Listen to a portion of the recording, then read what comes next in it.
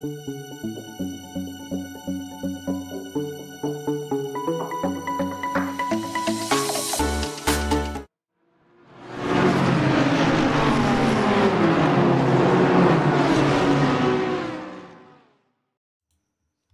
and gentlemen, boys and girls, welcome to the Temple of Speed. Welcome to Monza for the, the second last round of the Raceface GT3 Championship Season 17. My name is Stephen Kernick, and joining me in the Coventry box after playing a little bit in America out in Sebring uh, is Cameron DeBastos. Cameron, I don't know about you, I am really, really excited here at Monza, a very exciting circuit, but also a very challenging circuit. Second last round of the season. It is a little bit in the afternoon, and we're about to see some grand racing right here at Monza, but everyone still cautious about turn one, turn two, that hairpin straight after the main straight. Then you go onto the Curva Grande, which is a long right-hander. You keep your foot absolutely in it before you stand on the anchors heading into the second of the uh, chicanes. Through to the Curve de Lesmo, first and second down the straight. Then you get to the Variante Ascari, which is always a challenging part of the circuit where we tend to see cars outbraking themselves, landing into the dirt, or just touching the dirt on the outside, throwing themselves into the inside wall before you head on to Curva Parabolica, the final where you actually have to go out a little bit wider than you think. I used to actually keep a very tight line through there. Turns out you've got to bring it right to the green on the exit. But uh, how are you feeling with tonight? I guess, as I said, I'm really excited about this pro and pro am getting to duke it out. Seventh round, the second last of this championship. Well, uh, good evening, Stephen. Good, good evening, everybody. No, uh, tonight's going to be a beautiful feast for the eyes. Uh, these cars, Temple of Speed, um, it's in the name. It's the fight for who has the highest top in speed. But also, I think every driver out there tonight is a bit worried about that first chicane, specifically on the race start. It is well known within the ACC community as a place where a race can be made or broken. Um, and uh, to bring you back to Curva Par uh, Parabolica, yes, um, I also used to normally take it very, very tight, but you want to run it, uh, you want to tuck it in and then run it wide to get as much speed for that straight. But uh, tonight, it's going to be a uh, it's going to be the battle between track limits and who has the best high end speed on these straights. It's going to be an action-packed race tonight. It's going to be an incredible one. But we do have our qualifying at the moment, so let's take a look through the points nice and quickly of who's in first, second, and third of our pros, and looking at our, our pro-ams as well that is joining us out on the circuit. Yes, so the standings for our pro class as we're starting tonight here is uh, Kieran Patterson leading the pro division with 293 points, and right on his heels Bernard Barkhuizen with 271 points. John LaRue slots into third after Daniel Rowe and Bernard King did not race last weekend, and uh, with a total of 167 points, and then Daniel Rowe in fourth and Brandon Kruger in fifth. Rounding out the top 10 for the Pro Division is Muhaith Musa, Daniel De Villiers, Juan Duplessis, Bego Grobler, and Darren Miller. Switching over to our Pro-Am division, that's also quite a, a, a, battle that's been keeping our attention quite closely. We have Sean Lerero in first with 241 points, followed by his teammate Jason Farmer with 225 points, and Alan Patterson rounding out our top three with 220 points. The fight for second is still close and anybody's race if it goes bad for uh, Sean Herrera there. But running out of top 10 further is Charles Darden, Richard Van Heerden, Ruan Heineke, Connor Bergstrom, Jacke Grobler, Titus Buerta, and Hansi Mayberg. It's anybody's game on this pro-am race tonight, Stephen. It's not a done deal. it's going to be an incredible one. Really looking forward to it. At the moment, Bernard Barkhuizen leading out the top of the charts. And then we've got uh, Quantum C uh, that's Cuban Dupsy in, uh, Quan Dupsy, I do apologize, in second place. Andres Serradio out in third, uh, getting beaten up by Mac van der Merwe as he comes across the line. So Mac van der Merwe currently in third, uh, fourth Andres Serradio, Jean Leroux, Issam Domingo, Jaco Grobler, Martin Rotenbach, Sanjan Pillay, Werner Skuman, Darren Miller, and Nicholas Kruk, who's actually a newer driver coming through and uh, part of the Pandacity team, but I believe that is out somewhere in Europe, that flag. I'm not 100% sure. so, yes, uh, um, I believe that might be the Serbian flag. I'm not. Uh, Kukic is, uh, yeah, that sounds Serbian. I do apologize, Nicholas. I do know if I have it wrong, you're going to give me an earful later in the team chat there. But uh, no, yeah, a new member to the Pendasi team there from our from the European side, um, deciding to join in on the South African side here. So it's definitely going to be showing that uh, not is this only South Africa and um, our Afri- the African continent drivers, but also some of the European drivers coming to slug it out. It's uh, and I can say he does have some pace, I'm not to lie. there, is a couple of things to worry about, though. 29th position, Kieran Patterson, one of our championship runners. Uh, a little bit further down the order than planned and having to try and work out what's going to be the most effective time for him. Uh, with seven minutes to go, though, it is going to be a bit of a, a tough one. And at the moment, Bernard Barkhuizen getting bumped down as Duplessis taking the top of the chart. So Duplessis really leading into clawing up the order. And that it does change up the, the battle a little bit. Andre Serradio, though, first of our pro-ams that is looking to take the fight. So good to see We've got a, a, great mix of cars, different colours. Issam Domingo sporting a lovely green, I've got to say. Lovely colours there for the Project Vapor. Uh, actually like the green. Prefer the green, to be honest. yes, no, it's, um, it's, it's, it's definitely a nice color there. Um, I did speak to some of the drivers earlier uh, earlier this week, Stephen, and there is some worries about the cars for tonight. Um, it's well known that, well, not well known perhaps, but the McLaren with the stop and speed, this track just suits it so much uh, if it's down to the ground. And the BMW also a car that will definitely be seeing. I mean, from P4 all the way down to P5 is just BMWs. So I think the Ferraris and the Porsche is gonna is gonna have some problems here, but uh, maybe that lone Lamborghini from uh, Alan Patterson might make a bit of a difference. You don't, you never know. I do think maybe we needed the something. That's my personal take on it. Uh, the BMWs, yes, the, the once famed legend, unfortunately, BOP coming into effect not only in Assetto Corsa Competizione using the LFM BOP, but also coming into effect with iRacing, the BMW that was at the top of the charts, now just not seemingly having that same power underfoot, a lot more weight chucked into it it's making it a little bit more difficult to battle around. We're into the final five minutes of the race, uh, the qualifying, but I do want to point out to everyone joining us out in the grandstands, glad to have you guys here. We do have a competition running thanks to SA Lube, and we cannot stress that enough because we're getting closer and closer to the end of it, and that is the chance to go and win some prize money. So this week, if you hit in the link in the description, of this live stream, you go and click on that link. It will then take you to, to SA Lube. You go and register. You have a chance to win 300 Rand this week. But it also throws you in for an entry into your the 2,000 Rand prize pool at the end of the season. So bear that in mind. You can enter as many times as you would like.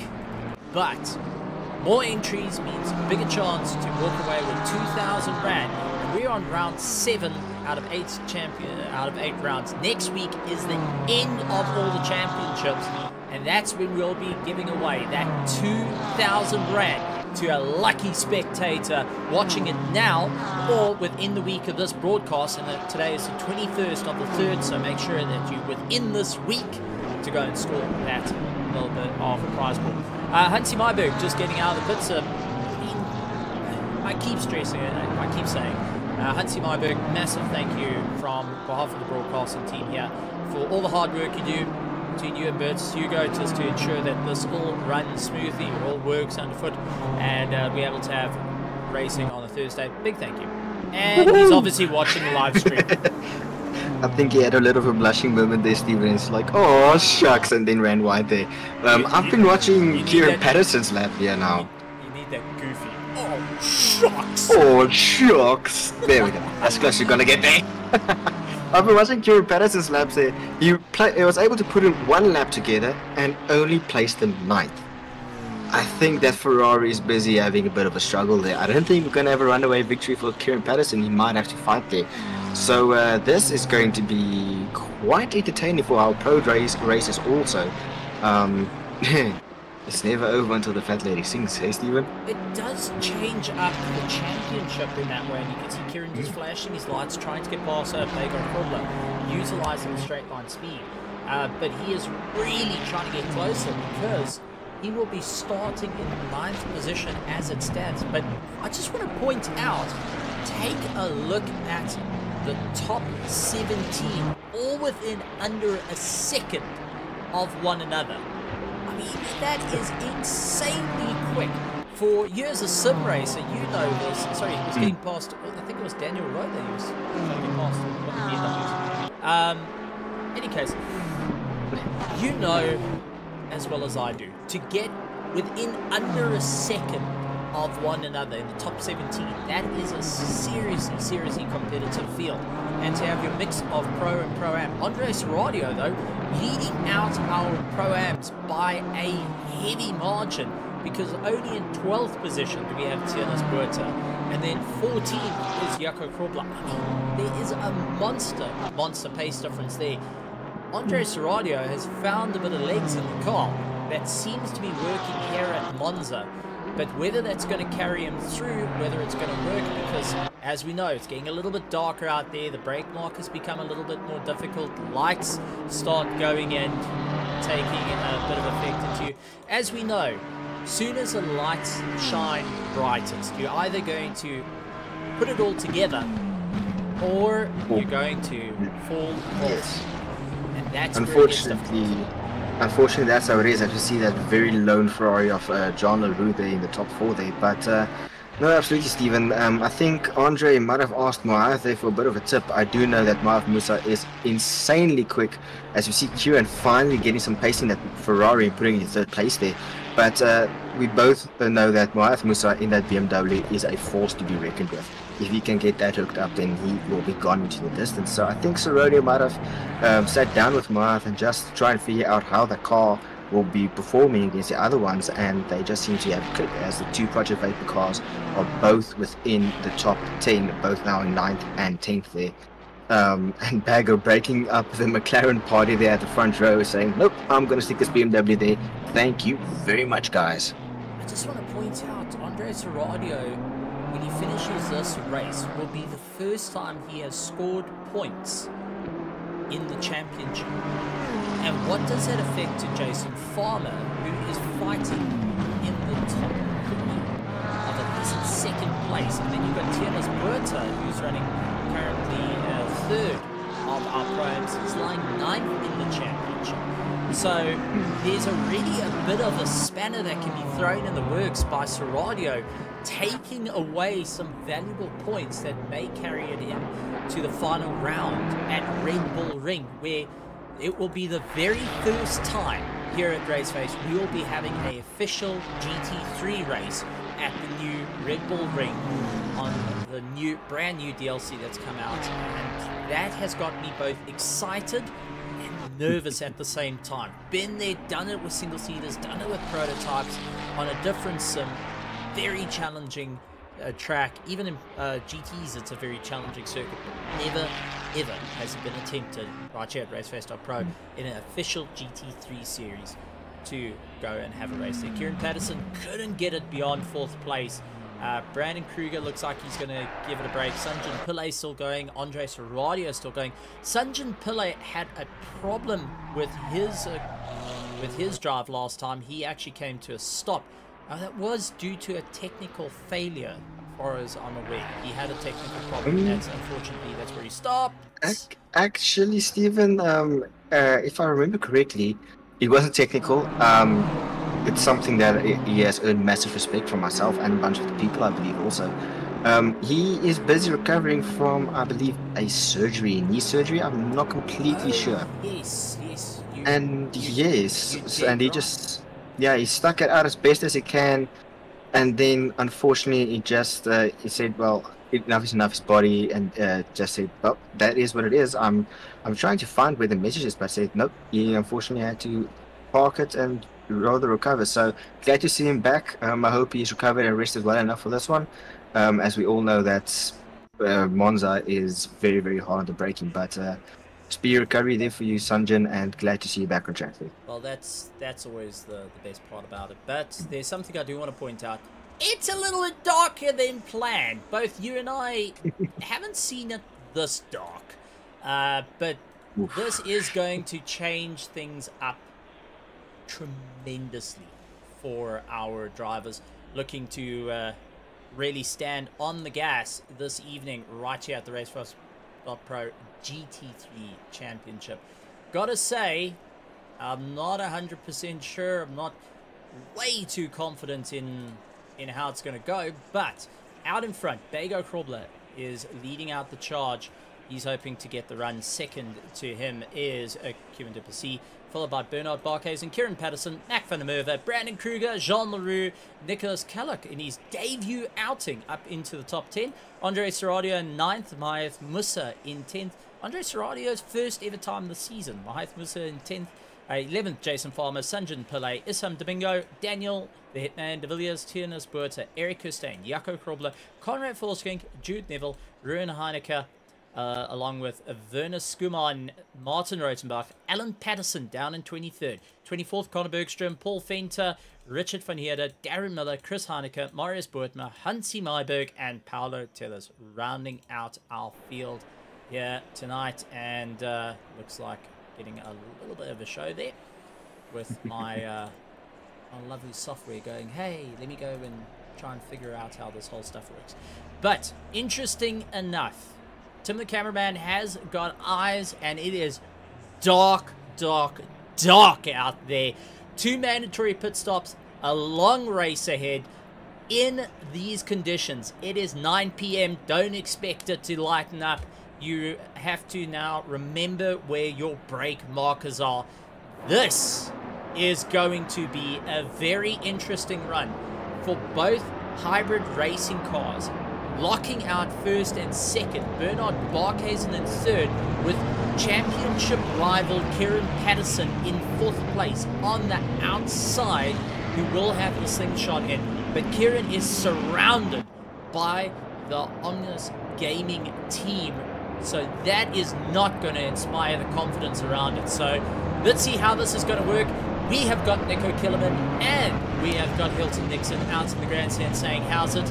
And they are excited to see the racing. One hour and 30 minutes of racing, two mandatory pit stops. Welcome to round seven, the second last round. and away we go. Bego Grobler off to a good start. Duplessis, a little bit of a slower start than planned, has allowed Bernard Barkhuizen to look to try make it through wide. He second guessed it. He goes on the defense. Hard braking into turn one. Kieran's already getting out of shape. Braking.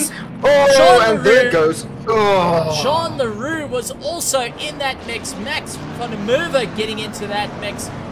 This has just gone and changed up the whole running. Jean Leroux, unfortunately, had nowhere to go in that one.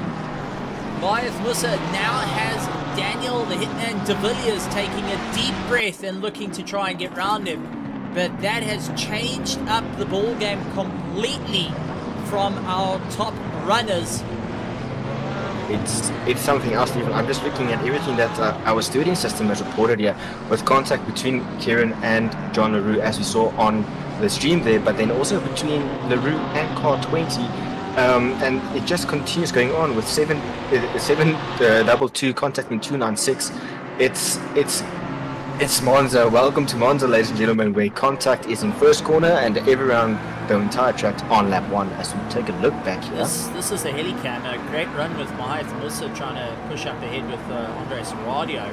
But it does look like a bit Bernard Bark hasn't slowed down. Kieran hit LaRue came back into Mac van der Merwe. LaRue came back into uh, Mac van der Merwe there, and that's where it happened. So LaRue got tipped. And unfortunately, when he came back on, Mac van Merwe got it in the neck. But Bernard Barkhuizen slowed up a little bit, being cautious of T1. And that unfortunately created a nasty concertina effect behind him. But has successfully pushed Kieran Patterson down into ninth position, needing a bit of Ooh. work on his car. uh, much like many, many others. Bernard Barkhuizen now on the attack, looks for the inside line on Duplessis, couldn't get past it there. Duplessis going on the defense to Bago Grobler. Now remember, Duplessis and Bago Grobler Hybrid Racing are trying to help one another, but at the same time, they are looking for valuable points for their own championship because there is no love lost between these drivers. Bago Grobler is trying to get a little bit more pace. He's down in ninth position and Duplessis is in eighth. So they are fighting for championship points and don't expect them to be all too friendly. Uh, Nicholas unfortunately dropping the wheel in the dirt and that allowed Andre Seradio and Sunjan Pillay to get past. So I think Sunjan Pillay's work on the knee seems to have found, put a bit of lead in the foot as well because he is not hanging around tonight. No, Robo, I think uh, Robo Knee Pillay is laying down the law tonight there. But it seems like the contact for uh, Nicholas there started with, um, unfortunately, touching Brandon Kruger there, according to the system, so which escalated to let's contact with car 25. So, oh no, sorry. There's, there is Nicholas and uh, Andre Seradio is there. So Nicholas, uh, late braking, tried diving for the inside for the avoidance. Yeah, a little bit of contact oh. for the 06 car. Unfortunately, that dropped uh, a little bit back. So Seradio had nowhere to go for it. Um, but what a run there. Nicholas now having to fight it out with Sunjan Pillay right onto the back of him. Sunjan did give it a try. Uh, back up to our running top of the order though. And Bernard Barkhuizen getting a phenomenal run out of Parabolica. Now looking to try and get the dive in on Duplessis just can't get it in. He's hunting for it, but Duplessis definitely quicker into turn one with the McLaren. Uh, Sanjit Pillay oh. takes a ginormous look on Nicholas, but uh, couldn't make it work. That backed him up into De Villiers, and Jean LaRue is also starting to make his way back into the fray of things. So Daniel De Villiers needs to keep an eye on the rearview mirror, but also get onto the attack of Sanjit Pillay. Following each other around, looks to the outside, and Sunjan beautifully parking it in the middle of the circuit, not allowing any overtake to happen there. Says, listen, it's not going to work out. We're going to keep up the pace. A little bit of a flash on the inside for Daniel De Villiers saying, I'm coming through.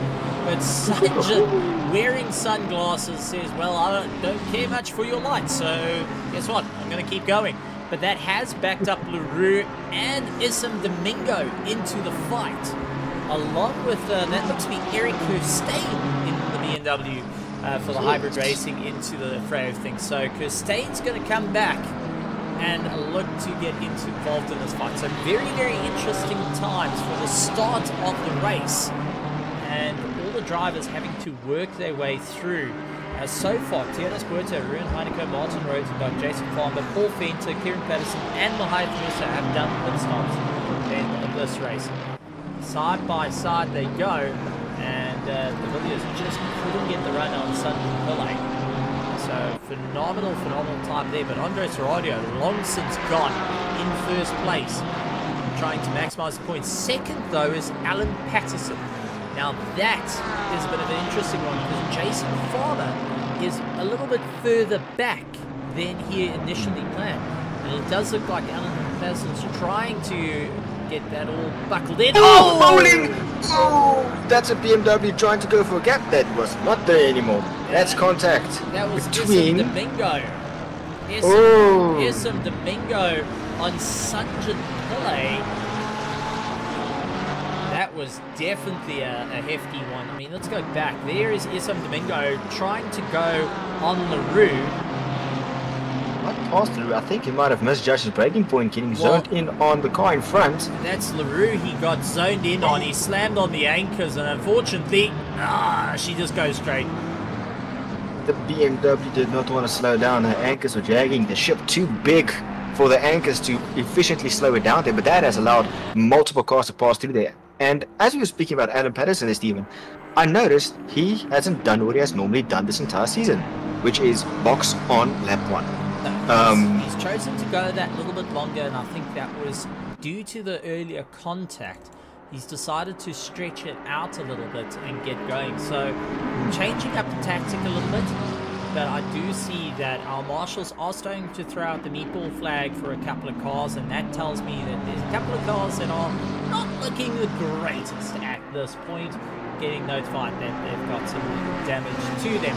Uh, but what an interesting run to start it off with. Bernard Barkhuizen closing up the gap to Duplessis. Now, this is going to be interesting. Two McLarens both have the advantage in braking. Bago, unfortunately, out in front doesn't have the advantage, as it does it look to be a look on the inside. Oh, Bago a little bit That's too a slow. bonk. A double bonk, as we see the McLaren's back, well, the one McLaren backing into the other McLaren, but they're not without a uh, rear diffuser adjustment on the BMW from his teammate McLaren. Um, Uh. Yeah, I think not quite understanding into the braking lock there. Jaco Grobler looking on a big inside to Darren Miller. He's actually backed out of it. Chris Heineke tried coming back in. Sanjin Pillay trying to do a little bit of recovery work here. Going around the outside, and Isam Domingo is going to just keep following as well. So it looks like Isam Domingo is going to try and ride it out with Sanjin Pillay. Oh, Heineke trying to move across the nose of Sanjin Pillay. Sanjin coming back at him. Isam Domingo also swapping around, trying to figure out where on earth is he going to go, as these two are properly slinging it at one another. So everyone trying to find those lines, but those braking markers disappearing into the ether at this point. Everyone having to try and figure out what's going to work for it, but out in front. So let's go through the running order because it's been an exciting one. Bego Grobler out in first place, followed by Kieran Duplessis, Bernard Barkos, and Brandon Kruger. Andre Serradio leading first of our pro-ams. Now right up against the back of Brandon Kruger, our pro-am driver will be leaning into the fight against our pros. Late braking into Parabolica. Can he go around the outside? BMW power. Ah, there's That's BMW a understeer. beautiful line. No, Steven, I think that might be a setup for a beautiful line to get more speed out of Parabolica. But I wonder what is the question? What is wrong with Kruger's car? I mean, is that car just bumped down completely? A five-second gap from the from the top three there, and that BMW gaining and gaining and gaining and gonna try and brake late, but think better of it. I wonder if that McLaren, if something is wrong. Um, Brandon, just check your engine mapping that you're not in uh, map 12 there, man. Because uh, that McLaren is not behaving as it should. No, it's definitely. I think maybe sporting a little bit of damage on the car, uh, trying to pull it its way back. Uh, but this is going to be interesting because it does look like Andre Serradio has backed out of it a little bit. He's got his eyes on the likes of Nicholas behind him. Now, Nicholas has not run across any of these drivers at all. So this is brand new, fresh ground for him. And to race against drivers that you do not know makes life a little bit more interesting. You know this from your personal take point where you start to familiarize yourself with drivers, you're starting to understand you've spent seven rounds battling against them, uh, well, six rounds up until this time battling against those drivers, understanding where they're braking, where they're lifting off, where they're accelerating, you start getting a, a feel for the grid. But when you start arriving on a completely fresh grid, something that you do not know, and the drivers that you don't know, you don't know where to push the limit. Where is it going to be getting that jump on the rest of the field? Yes, it, it's quite different. I, I just keep on noticing how Marshall's waving a meatball flag for this pack of three cars here. I wonder if Brandon has damage. But the question is, where did that damage come from? Because he's in incredibly slow there. Um, Kruger, Yeah. I think, was part of earlier with car number six, that was very, very early. That was within the first five minutes of the race starting. Um, Oh, Marius Burton Oh. very slow, and we spoke about this corner and getting it all out of shape, and this is what happened to him. So inside over the curb. Too Oh, much curve just whoa! throws him- oh. There was a car. Hello. Did not expect That- that. There was a car in the middle of nowhere that was unfortunately uh, parked off, and I think that was the 145 car. So Five. That's 145. That's Jaco Grobler and Darren Miller seems on our system to have contacted there. I Okay, so wonder. this is Jakob problem. This is what happened between the two of them that left the McLaren striking in the middle of the circuit. Good Looks up on the inside. over the curbs. Oh, that unsettled him. Brake too hard. Oh, Got turned around. Oh my heavens! That's it just was change fate. yeah, that, that was it. I think Oh. Sanjan Pillay. Uh, hesitant to think that Sanjan Pillay in car 88 was also just touching it as well. And Marius Bergman kind of arrived on the scene of the murder and had to try and figure out where to go. Oh boy, this is turning into quite a run. Uh, but a big welcome to all spectators. If you just joined us, welcome to round seven of the Raceface GT3 Championship here on ACC. And I've got to say, rather exciting times at the moment with our drivers. A start of the race turning into a bit of a challenging one for everyone but now it's all looking to improve as time goes on. Everyone trying to figure out what's going to be the best move for them. Uh, but also got to point out there, there has been a bit of news. I'm going to throw this in a little bit because the background news is always fun. Uh, Pandacity had their first birthday the other day, so happy birthday to Pandacity. So Yes, congra- um, congratulations on you guys and, uh, on Yeah, your first um, birthday. yes. Uh, well, congratulations, Pandacity. um, and also it was the same day as the founder. So very congratulations to both both the team, the organization, and the founder there.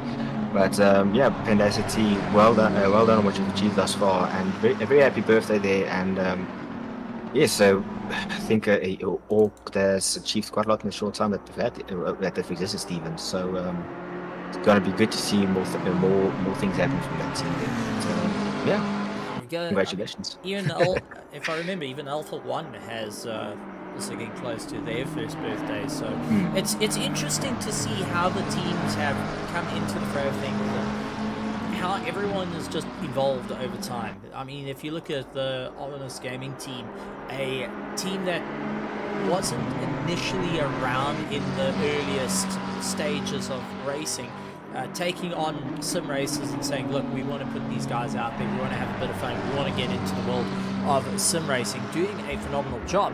Uh, but then you've also got guys improving their time. I'm seeing yellow flags for Car 100 though, and that Contact is 465. that's Alan Patterson, who uh, looks like he had a bit of a run-in with Martin Rotenbach under braking. Oh, worrying about the. Yep. Oh! There we go. Martin Rotenbach over the curbs. Alan slowed up because he had a very, very slow, what looked to be Jude Uh. Neville uh, in the Merc, who backed off just a little bit early, caught them all off guard, and Martin Rotenbach dived over the curbs. And that was pretty much all she wrote of it. And Alan Patterson, unfortunately, getting the contact there. PWSR not having the best of days to remember, but Darren Miller and uh, does look like Daniel Lim and De Villiers is also just trying to improve their spacing. Bernard Barkhuizen on the attack. Goes up on the inside of Duplessis. Duplessis is going to try and cut back in on him. Both of them side by side. But Duplessis just a bit braver on the brakes here. Woo, boy, that was a little bit close in plan. Car 100 and 44 coming into blows with one another. So Alan Patterson, that's 404. That's John And that's- LaRue, not the best. I think LaRue might have carried enough speed and tried to send it into Parabolica there. I see Alan moving over. That's Yeah. contact, I believe, from the rear. He- yeah, Yeah, uh, there we go. Oh, that's a. Oh, that's just a bad takeout. And into the wall. That's extra damage for Paris, for Alan there. Stephen, what's with Monza and throwing championship standings completely upside down here? I mean, these are top three guys in both pro and pro am getting taken out in both right in, in, matter of the first 10 minutes of the race 20 minutes sorry Yeah, Martin Rosenbach also having a difficult time. He actually uh, slowed up quite a bit. And it looks like he's just allowing Alan to come by. So Martin Rosenbach just saying, look, championships fight not with me. Uh, you've had a bit of a rough run there. I don't want to get into the fights. And Nicholas taking a dive on the inside. Oh, contact. that With- is unfortunate That was with uh, Brandon Kruger and Andre Serradio got the big win on that one. Gets ahead of Nicholas, and it does look like the, the hitman Daniel De Villiers now starting to close down the gap. So Nicholas looked for the dive, couldn't get it all hooked in just as yet, uh, but looks to try go once again on the inside with Andre Serradio. Looks for a cutback, gets acceleration out of it. McLaren now getting a little bit of grunt underneath it. Will it be enough? Going to understeer out of the corner here. Oh, and it looks like Andre Wow. Serradio had to back out of it. Serradio, given not much choice, he does drop a wheel, rear wheel on the dirt and having to just slightly lift off the throttle there just to bring it all back into check. But Nicholas with a big send, took a deep breath and, uh, oh, mamma mia, this is definitely That's- turning into a spicy meatball of a race. Oh, Serradio, don't go too much over the curbs. Oh, never mind. Nicholas losing it completely. Number 25 car. Let's go. Oh, he's trying to bring it back.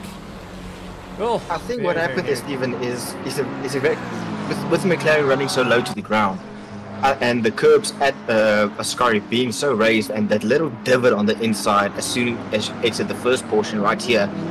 Oh, never mind. Mounted too much of that first portion. That just bottomed the car completely, sending him completely spinning around there. Um, couldn't handle the spicy sausage.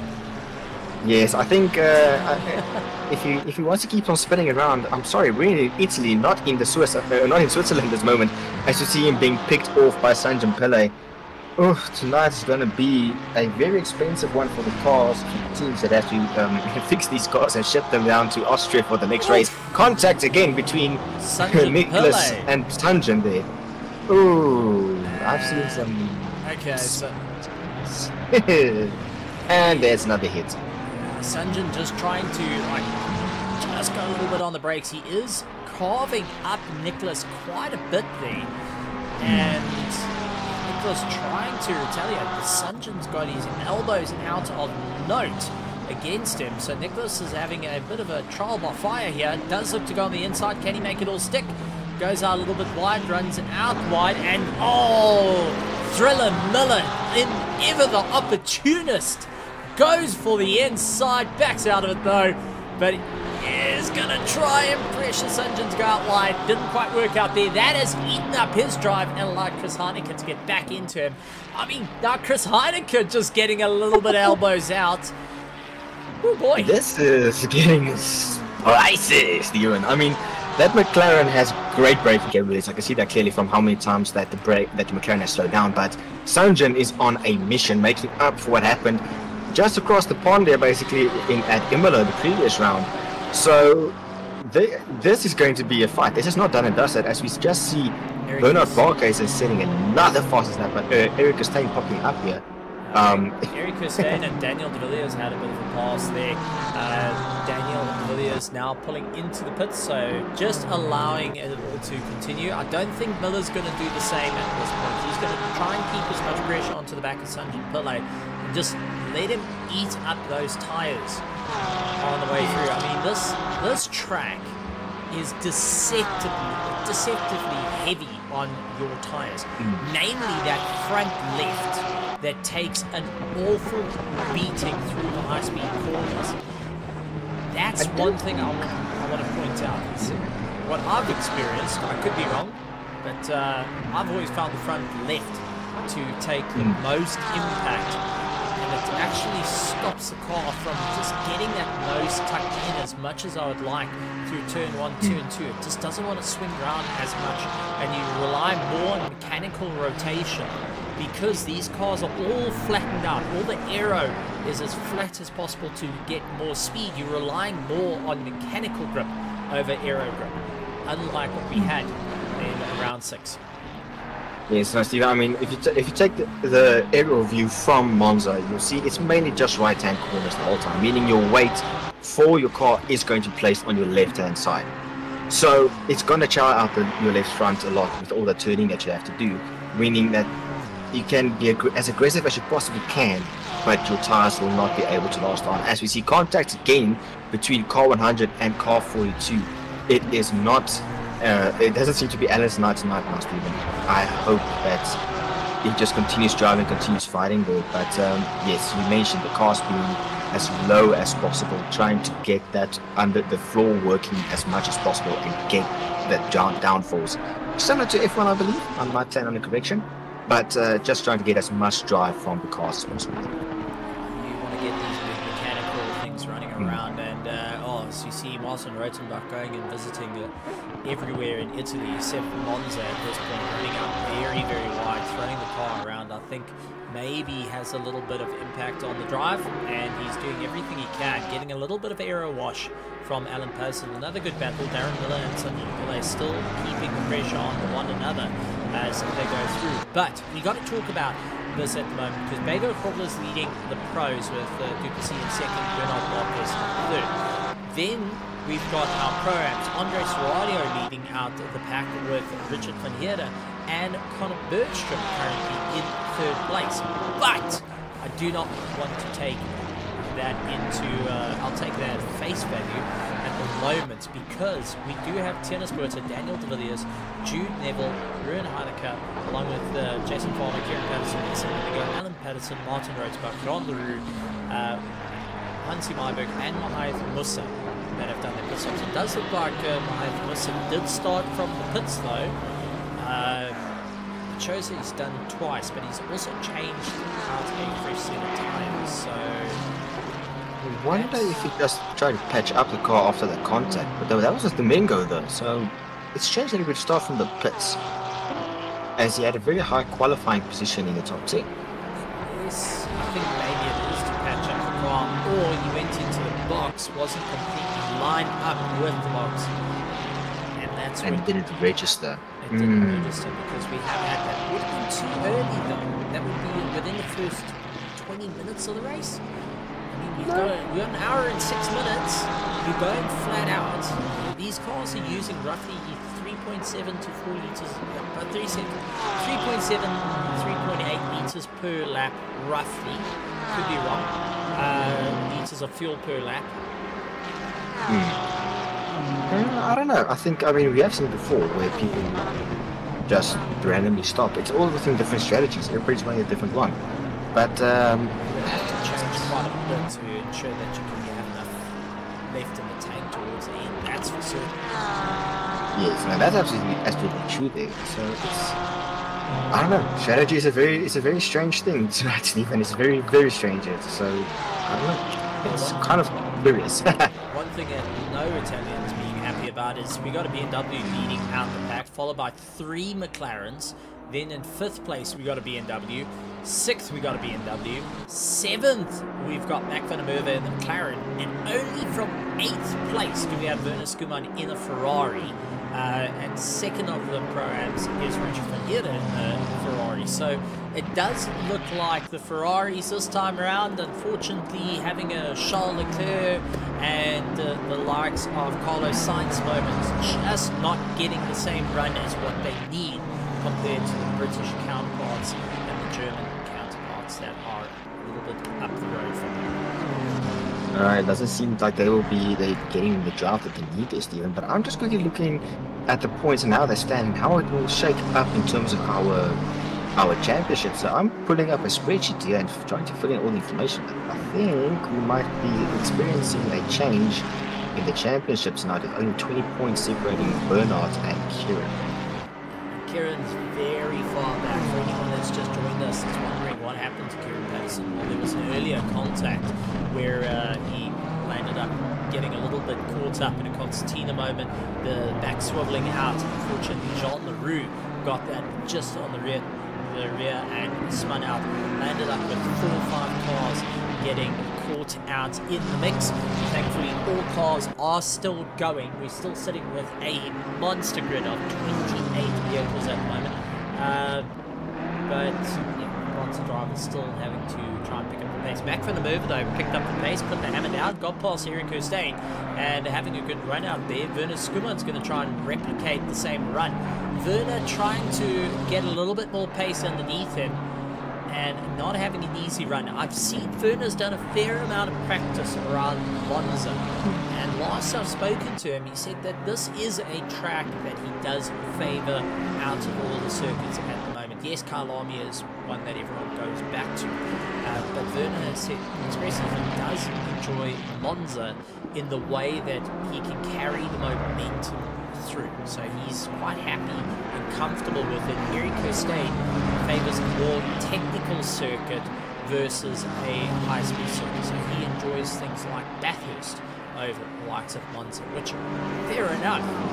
You will have those drivers, some preferring more technical and some preferring more high speed. Uh, for a slow chap like me, any track that I get to use first and second gear only because third gear is too fast and scares the living daylights out of me. I'm happy with those sort of circuits, but when you get to Monza, it's a little bit too quick for me. Braking becomes a little bit too hairy, and that's when I start lifting and coasting a little bit more than I actually should in these GT3 cars. Prototype's a little bit different, but uh, prototypes and single seats a little bit different. But in the GTs, where you're carrying at least 1.1 to 1.2 uh, tons of weight into a corner, you've got to try and slow that down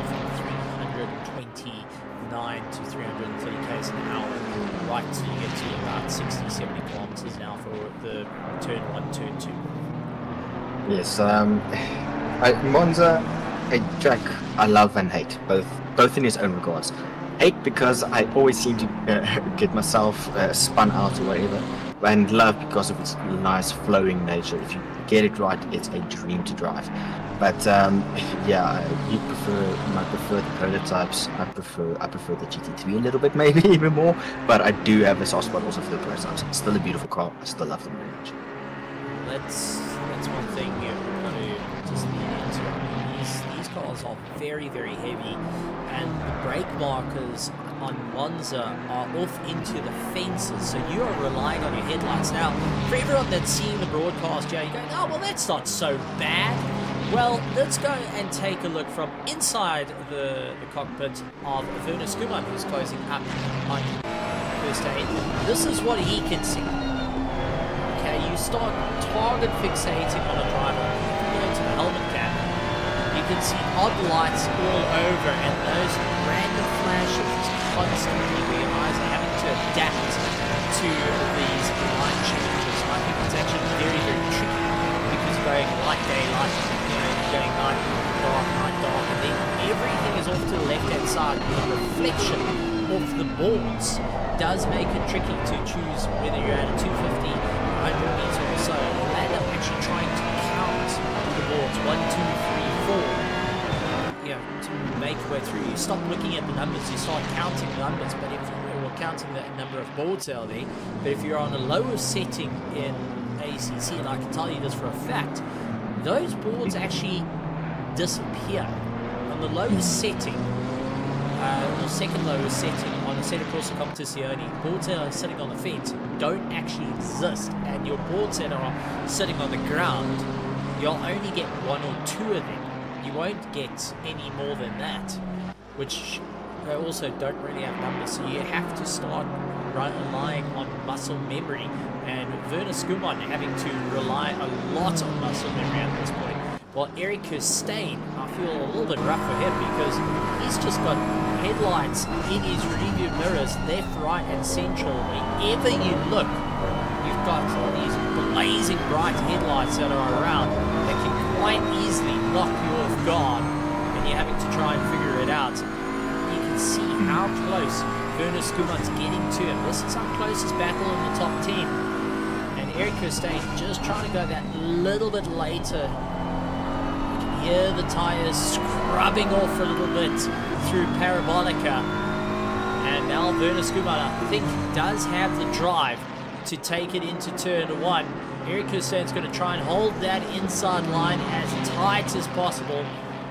Here comes Werner Skuman. As he goes, oh, that! Hmm. Unfortunately, uh. lands with both of them into the wall. Let's go take a look at that. Ah. Eric Kirstein, did it, was Werner Skuman trying to get across and Eric Kirstein misjudged the gap? Or what happened? Let's see, let's go to Tim in the heli. Yeah, some say that Tim doesn't even need mythic flying wings to be able to fly. Oh, Oh, yep, no, oh, okay. I I know what happened this year. It's something that normally happens with all with, with, with. We do know that Monza, as you exit yeah, well, the pit lane merges onto the circuit. So at one point it goes from tarmac or fro- from tarmac to grass. So we always try to move over. And funny enough, last night was one of the one of the fun races that was as you see. That was Bago Grobler. This is a change up for ooh, ooh. first position. Uh, we will go and figure it out. Yeah. So um, it's. It, I think Kirstein tried to avoid getting on the grass, even though it was a bit further ahead than he expected, and unfortunately, they tangled. Um, and it, it, it just happened. It happened to happen, and uh, it's heartbreaking to see that happen. But uh, hopefully, uh, Skuman can come fighting back there to try and get it sorted.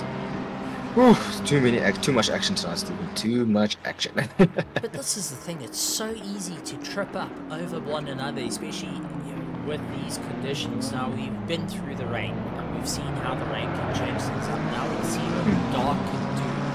Uh, you know, everything can put into the mix of it, and our drivers are having to, well, tooth and nail at this point, try and figure out what's going to work for them.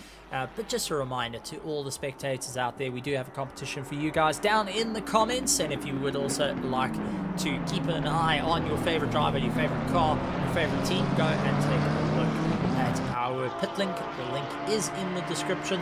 Click it, go to the pit wall, live timing to see all the amazing action out there. Kieran Patterson getting past Jason Farmer. Doesn't look like Jason Farmer's going to fight him too much at this point going to back him out, and Jason Farmer has got his fellow teammates on the back of him.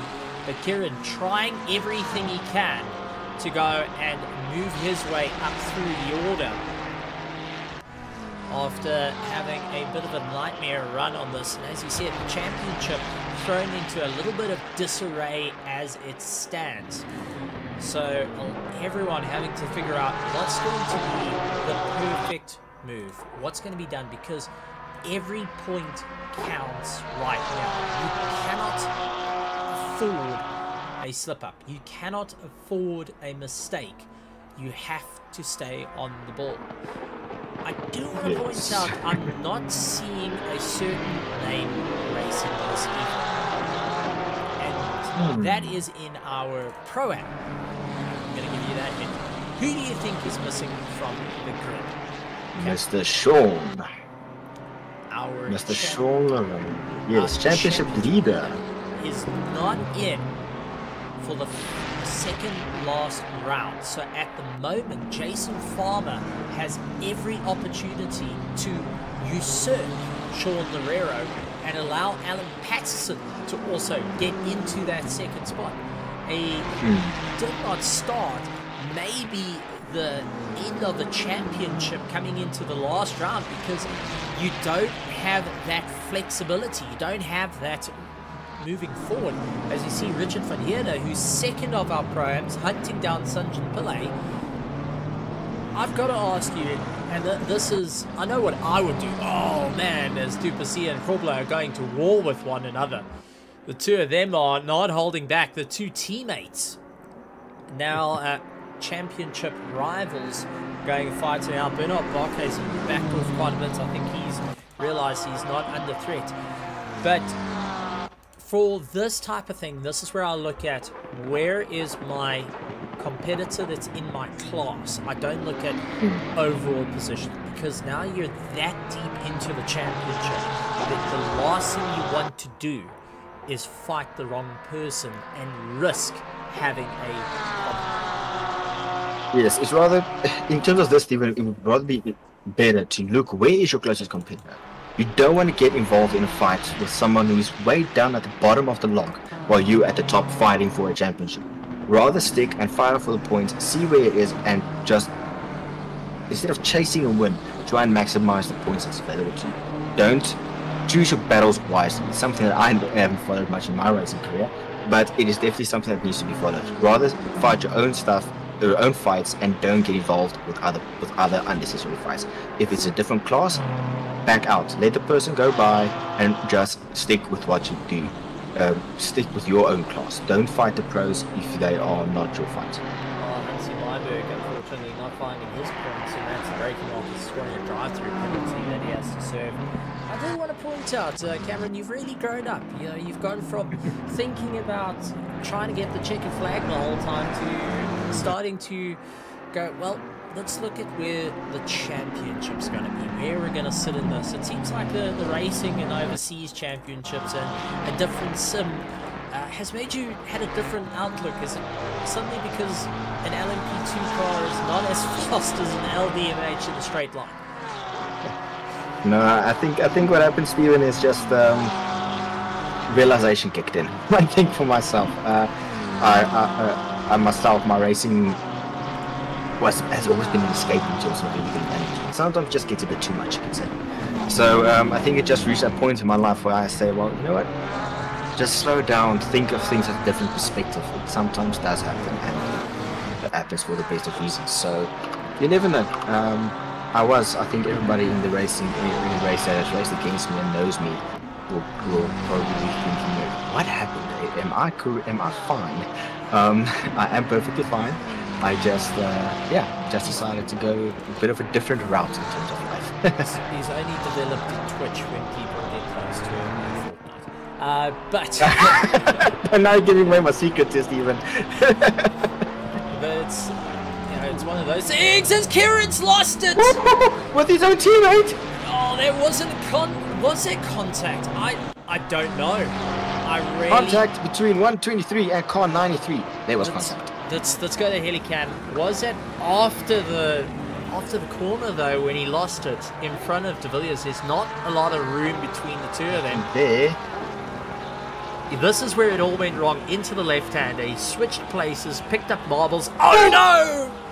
Lost the braking point. Got distracted. That's a big bonk. oh, the torture for the PWSR drivers tonight, Steven. This is painful. And it looks like De Villiers also stopped out. Oh. Oh, man. Heart is starting to ache big time as we've seen some massive, massive changes. I think Daniel De Villiers started thinking three corners back and forgot about this corner where the Porsche just, yep, no, way over the, oh. in the wall. I think I think De Villiers was looking back at the Patterson incident and mm. didn't have the now and the Porsche doing the Herbie wink. Uh, something I know all too well, and I think Janneman Price and I have lived through that, where any damage to the front of the Porsche, you suddenly have the car winking at you the entire time. Nothing's more fun than just driving around and landing up, uh, well, getting caught out. Nicholas coming out of the pit, so he's done his first of the man, the two mandatory pit stops. All looks it went okay there, but LaRue, um, not quite the track you want to go. That's the the old Monza where you go straight. Uh, they did put the chicane in. They do recommend using it. Uh, but I think that's just being caught out by the lights in the rearview mirror. So drivers starting to feel that impact at the moment and none more than uh, Kieran Patterson, uh, who has had a rough time. Just taking a look at De Villiers in the pits. I don't see Kieran back in the order. Uh, Kieran is in the pits. He's just left the pits, I believe, Stephen. He just left the pits. I'm trying to take a look. I see Alan Patterson uh, there is Kieran Patterson. Yeah, so you're right. He just came mm. out now. He's completed his two of the mandatory pit stops, 35 seconds back from Conor Bergstrom. Uh, Kieran's got a long way to go to be able to catch up to championship rival Bernard Barkhuizen. But this does play into Bernard Barkhuizen's hand in the race. His champ closest championship rival is now way down the order than planned. That does though some positive and negatives for the championship. For Bernard Barthez, great means that you can score some valuable points. But Jean Leroux, who's also had that rough race, is now losing out. Daniel Rowe isn't here, so he's not racing. But Brandon Kruger is. He's lying fifth in the championship on 143 points and has a chance to get up into third place if he can maintain this pace. So the OG KSR factory team driver has got so much to gain just by keeping positive. But I am seeing a bit of yellow flags coming up for our 404 car and 25 car. Oh, contact again. Nicholas going around the outside, and that is LaRue on the inside. Uh, turn one, who's going to be brave? Oh my heavens, three wide. Ooh. And Oh, and spinning like a ballerina. Here we go. Oh, Stephen. Stephen, And Stephen, that, that was that was watching out for Miller, who was exiting the pits. You spoke about that, where it Mm. can lead into effect because you bleed into turn one. And unfortunately, when the two are battling it out like that, no one wanting to give, they're looking at the whites in each other's eyes. Fortunately, someone has to give. And it wasn't the person coming out of the pits. No, it was unfortunately Miller who uh, kept his line. Nicholas on the outside did not have any room to go. And unfortunately, he had a car into the back. Uh, close battle starting form. Issam Domingo doing a fantastic job. He's making up some ground onto Jason Farmer as it stands. Whew. Yeah, it's nights like these where you get as a commentator, uh, as not a pro or a pro am driver by any means. I think uh, I got stuck. I spoke to Bertus about that. I am currently in my own class. I just want to point out I'm in the the elite class. It's it's a It's slow. It's a class of one of one. We call ourselves the elite. We're so far. We're so fast. We don't even have to be in the race.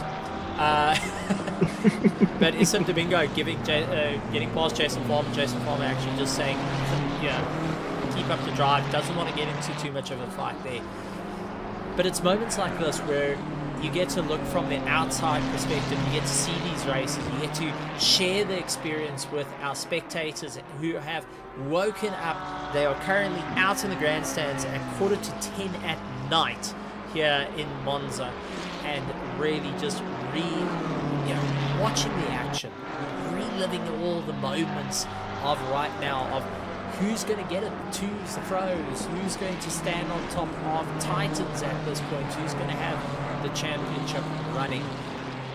I've, you know, this is what makes it so, so exciting to be on the outside of things uh, versus in the car where, yes, you get drawn into some amazing stuff, but you, you get to miss out all the amazing action that's out on track. Yes, it, it, it does make one a bit sad about that, Stephen. But uh, regarding tonight, I'm actually kind of happy I'm not there out there. Um, I try to get the championships up and running in terms of how, how the points would be off the race, but it's too difficult. Everybody's jumping around now at this point. Yeah, It's I think, I think the only way we're going to keep an eye on where the championships may roughly be is right at, towards the end of the race at this point. Alan Patterson, he's going to keep his foot on the gas, trying to break away from Martin Rosenbach. Uh, who's pulled into the pits. But let's go through the running order as it stands because we got uh, Duplessis out in front, Vega Crawler in second place, Bernard Montes in third, fourth place, Brandon Kruger, and first of our proams currently in fifth place. That is Andre Serradio, who is fat, battling it out. So then we've got Mac Villanova in sixth place, Richard Van Heerden, second of our proams in seventh place, Chris Heineke in eighth. Ninth place is Marius Bootma. Ooh, gets it all out of shape there, and that I think is going to change because Tiernas Buerta says thank you very much. So Tiernas Buerta, then Marius Bootma. Uh, thank you, Marius, for going and calling the bluff on that one and saying, listen, we're going to make you think you know what's happening, but guess what? You're not going to. Uh, so he's down into 11th position. Then we have got Issam Domingo, Jason Farmer, Alan Patterson, John LaRue, Darren Miller, Eric Kirstein, Mahath Musa still getting out going. Mahath Musa very slow into T1 there. That what's BM going on there?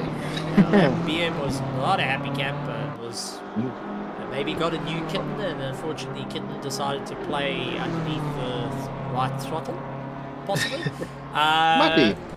Paolo Taylor's in 20th position is in the 18th, sorry, 19th is Kieran Patterson. Uh, timing screen adjusting as it stands. Martin Rosenbach behind him. In 20th, Björn Heineke, Werner Schoeman, Conor Bergstrom, Daniel, the Hitman de Villiers, uh, Nicholas Craig, uh, is it Nicholas Cuck? Uh, Uh, I, I, suppose I, I don't want to make so bad, but I will also I will also just stick with Kukic. Kukic. Okay, Kukic. Because in the, if it's Serbian or Croatian, the IC normally is an itch, like Djokovic. So I'd rather just say Kukic for safety reasons. If, if um, you if you if you got an itch, you need to see the doctor about that one. Uh, but I mean, Sean Kirby is even going and writing in from the grandstand saying he's looking up at the clouds, seeing if maybe there may be rain at this point. He's shining his torch to see whether it's going to rain or not. But I think we've got clear skies ahead of us uh, for the rest of this race. And I think if you bring up rain at any point, you're going to have Cameron starting to get a bit of a PTSD. I have a headache from running in the rain in America at this point, Stephen. But uh, we still got we still have to spend some time in that rain. There. But yeah, rain is now my phobia in terms of uh, in the sim and in real world with the storms happening everywhere. I can tell you, rain on uh, any circuit is not fun, especially a high-speed circuit like this. You've actually experienced this type of conditions where uh, it's gotten dark, it's gotten rain. It, it, becomes more and more challenging around Monza, but now that we're getting into the 42 minute mark, it does lean into something that I, I really get excited about. I love talking about what the drivers are going to feel. I, I really do. As a paramedic, you get to talk about all the fun stuff that comes into it. But the driver fatigue, I feel, mm. gets a lot worse mentally, and the eye strain is hectic in the dark because one, now you have got bright white light that is coming through your monitors and all of us love running high refresh rate monitors. So that means those lights the LEDs and OLEDs are working overtime into your eyes. The darkness around of it your eyes trying to process what's going on the brain trying to process what's going on. You're trying to remember where all the brake markers are. You can't visually see it anymore. And that just goes and puts mental fatigue and dialed up to 11. We always talk about driver fatigue with the different steering wheels that get used, the load cell pedals, different brakes, uh, Hall effect sensors, yada yada yada. Well, put it this way, I dare anyone right now is to take your computer or take your phone, turn the brightness to max, and set it to day mode so you have the white color from Google in your eyes.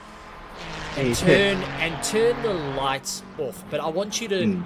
open your phone, close your phone, open your phone, close your phone, open your phone, close your phone, because that's what the drivers are experiencing at this point. And tell me that you don't get a headache from it. I would love you to prove that you don't get a headache from it because yeah the drivers are having to it's, compete with that right now. It's it's absolutely draining, Stephen. Um, at this point, I've even got to the point as you see our, our Q and PC going into the pits.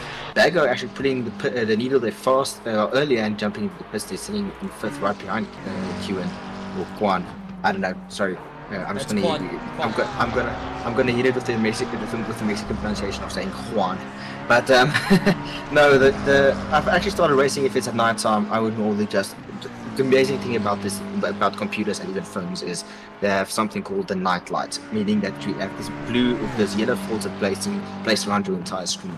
It helps a bit with it but um, yes the white the bright lights that definitely has an effect um, on on uh, the drivers themselves. Uh, if you think that driving in the rain at night with headlights on drains a person or even just without the, without the rain it tires one out. I mean I can speak from from experience myself with with a real world one, even if it's just my little Suzuki Swift.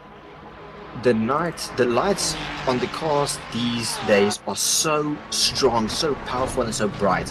It it makes it difficult for a driver to even see what's ahead of them if they're from ahead or even from if they're from uh, if a car following them. So it definitely takes a lot out of a driver. But now I have to say, I love it when racing when, when it's racing in the night with the lights coming on specifically Mans, Stephen. I mean, you can't argue with me. When the nighttime settles in and the lights on those cars fire up, coming down Mulsanne Straight, it's a thing of beauty for the spectators, not for the drivers. the, the, the, ambiance, as it comes mm. to be, as Richard van Heerden has got Jean Leroux right behind him, pressurizing him. I think he's listening to the Weeknd in the car with the blinding lights song uh, done by the Weeknd. Uh, as he's got Jean Leroux all over the side of him. You see, I can throw in a little bit of pop culture. I do listen to uh, music that's above, you know, 2000. Not relevant, though well, the thing is, I usually listen to music that's within about 2006 20, uh, to 2010 as my max. But uh, you see, I've got to I've got to get hip with the youngsters. You know, I've I've hit that age where it's got to. What do you mean you've hit that age? You're not that much older than me. That's precisely why you and I are sitting here in the elite class where we've been told I'm to, not uh, slow. to uh, maintain ourselves. Um, but take a look at this. Andre Serradio leading uh, second of our pro-ams, fighting out with Jason Farmer, who's our leading runner of our pro-ams. And also in the title contention, Andre Serradio not in title contention. Gonna give him a bit of havoc here. And that is allowing Richard van Heerden to get a little bit closer. So Jason Farmer, I think, backed off the throttle, allowing the likes of Serradio just to get ahead. I know that maybe that's the play. If Serradio wants the position hard enough, go for it. Take it, pull me along, you're not my problem. If I can hold second place, it scores 43 points for my championship, not 50 but it will be enough to move me up through the order and uh, get me into that championship step because Alan Patterson is a lot further down. Sean Lerero is missing in action. That's the type of things that comes into play. Let me get pulled along by you. I'm not going to get into an unnecessary fight. Uh, as we see a bit of a fight going on, Rich Pineda, Chris Heineke, and John LaRue, as Tim the cameraman trying to search for the action here. Chris Heineke currently getting the jump, and John LaRue getting the jump. Richard Pineda, though, backing off the throttle, allowing the guys to go through. He's going to keep into the toe, but also what's nice about being at the back of a car it means that your rear view mirrors are clear of headlights, left and right. And now if you're running on anything that you can see your rear view mirrors, like triple screens, ultra wides, even your FOV, which is a field of view moved back, and you can see those rear view mirrors, those lights constantly left, right, left, right in the peripheral vision can take the focus out of your race.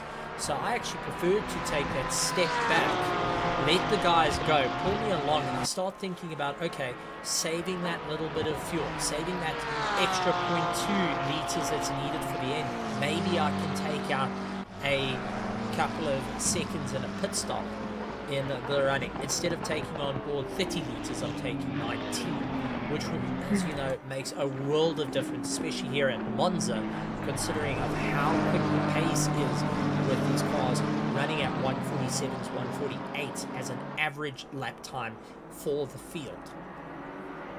Yes, um, I, I'm I don't update that. Well, so. I kind of just looked at the leaderboard and tried to figure out he might have another retirement. I did notice Jakob Grobler has retired this year. Yeah, Um, Jaco Grobler is out, and I think that was from the, the earlier damage. Hmm. Unfortunately, the team saying, uh, sorry, but this is un- unrepairable. Uh, you're going to have to box a car, but that does leave Conor Bergstrom out on the circuit. Uh, and I don't see Nicholas in here as well, so I think He's still Nicholas he's still running. He's is still, he still running. Okay, so Nicholas is C25. Okay, so Nicholas is still running. Connor is not left by himself. At least he's not a panda that's going extinct. Pandas are on the on the bit of a rough end of the scale here. They they need to be looked after. So last thing you want to be is a last running panda. Uh, that's that's not where you want to be. But Vernus Gilman's still out there, so it does help it out there. We've- Unfortunately, we have lost two drivers. It seems like we've lost two pro drivers. Team. Um, uh, though, oh, uh, well, three drivers actually. So, uh, Robert is gone. Unfortunately, decided to uh, stop the car, but I'm struggling to find out. I don't think Is- that was that was. Uh, I don't think it was a retirement out of wanting to. I think it was, an you know, out of necessity. There, the, the car was a bit well trashed after the last little bit of contact, so he's had to back it out. Uh, Tiernas Puerta, Eric Hussein, they're going at each other, two teammates, and both of them are trying to make their way through. Has completed all his pit stops. Eric Hussein pulls into the pit, so he's going back of it. Uh, do want to keep an eye out on Jason Farmer, though, because he's quite high up the order, Uh, Buerta has just gone and leapfrogged him. Issam Domingo, Kieran Patterson has also gotten past. Uh, but Alan Patterson is looking to try and get ahead of Jason Farmer. Remember, these two are in the fight for the championship. So Jason Farmer ahead of Alan Patterson now close to one another out on circuit. That may also come into effect. Remember, Farmer is running currently in. I'll go through it now because my memory sucks. He is currently second in the championship. Yes. Patterson's in third. So if he can keep ahead of Alan Patterson, it means he will still run second in the championship going. He uh, will be taking the lead. He will be taking the lead, I believe. Um, If he remains If. where he is. But Yes, if if Alan gets it, other way then around. he will stay. Then will be Alan second and Jason third. Yes. Yes, I think I'm not really sure. But um, Stephen, you want to hear something interesting about how Serradio is able to keep it in the in the top six there?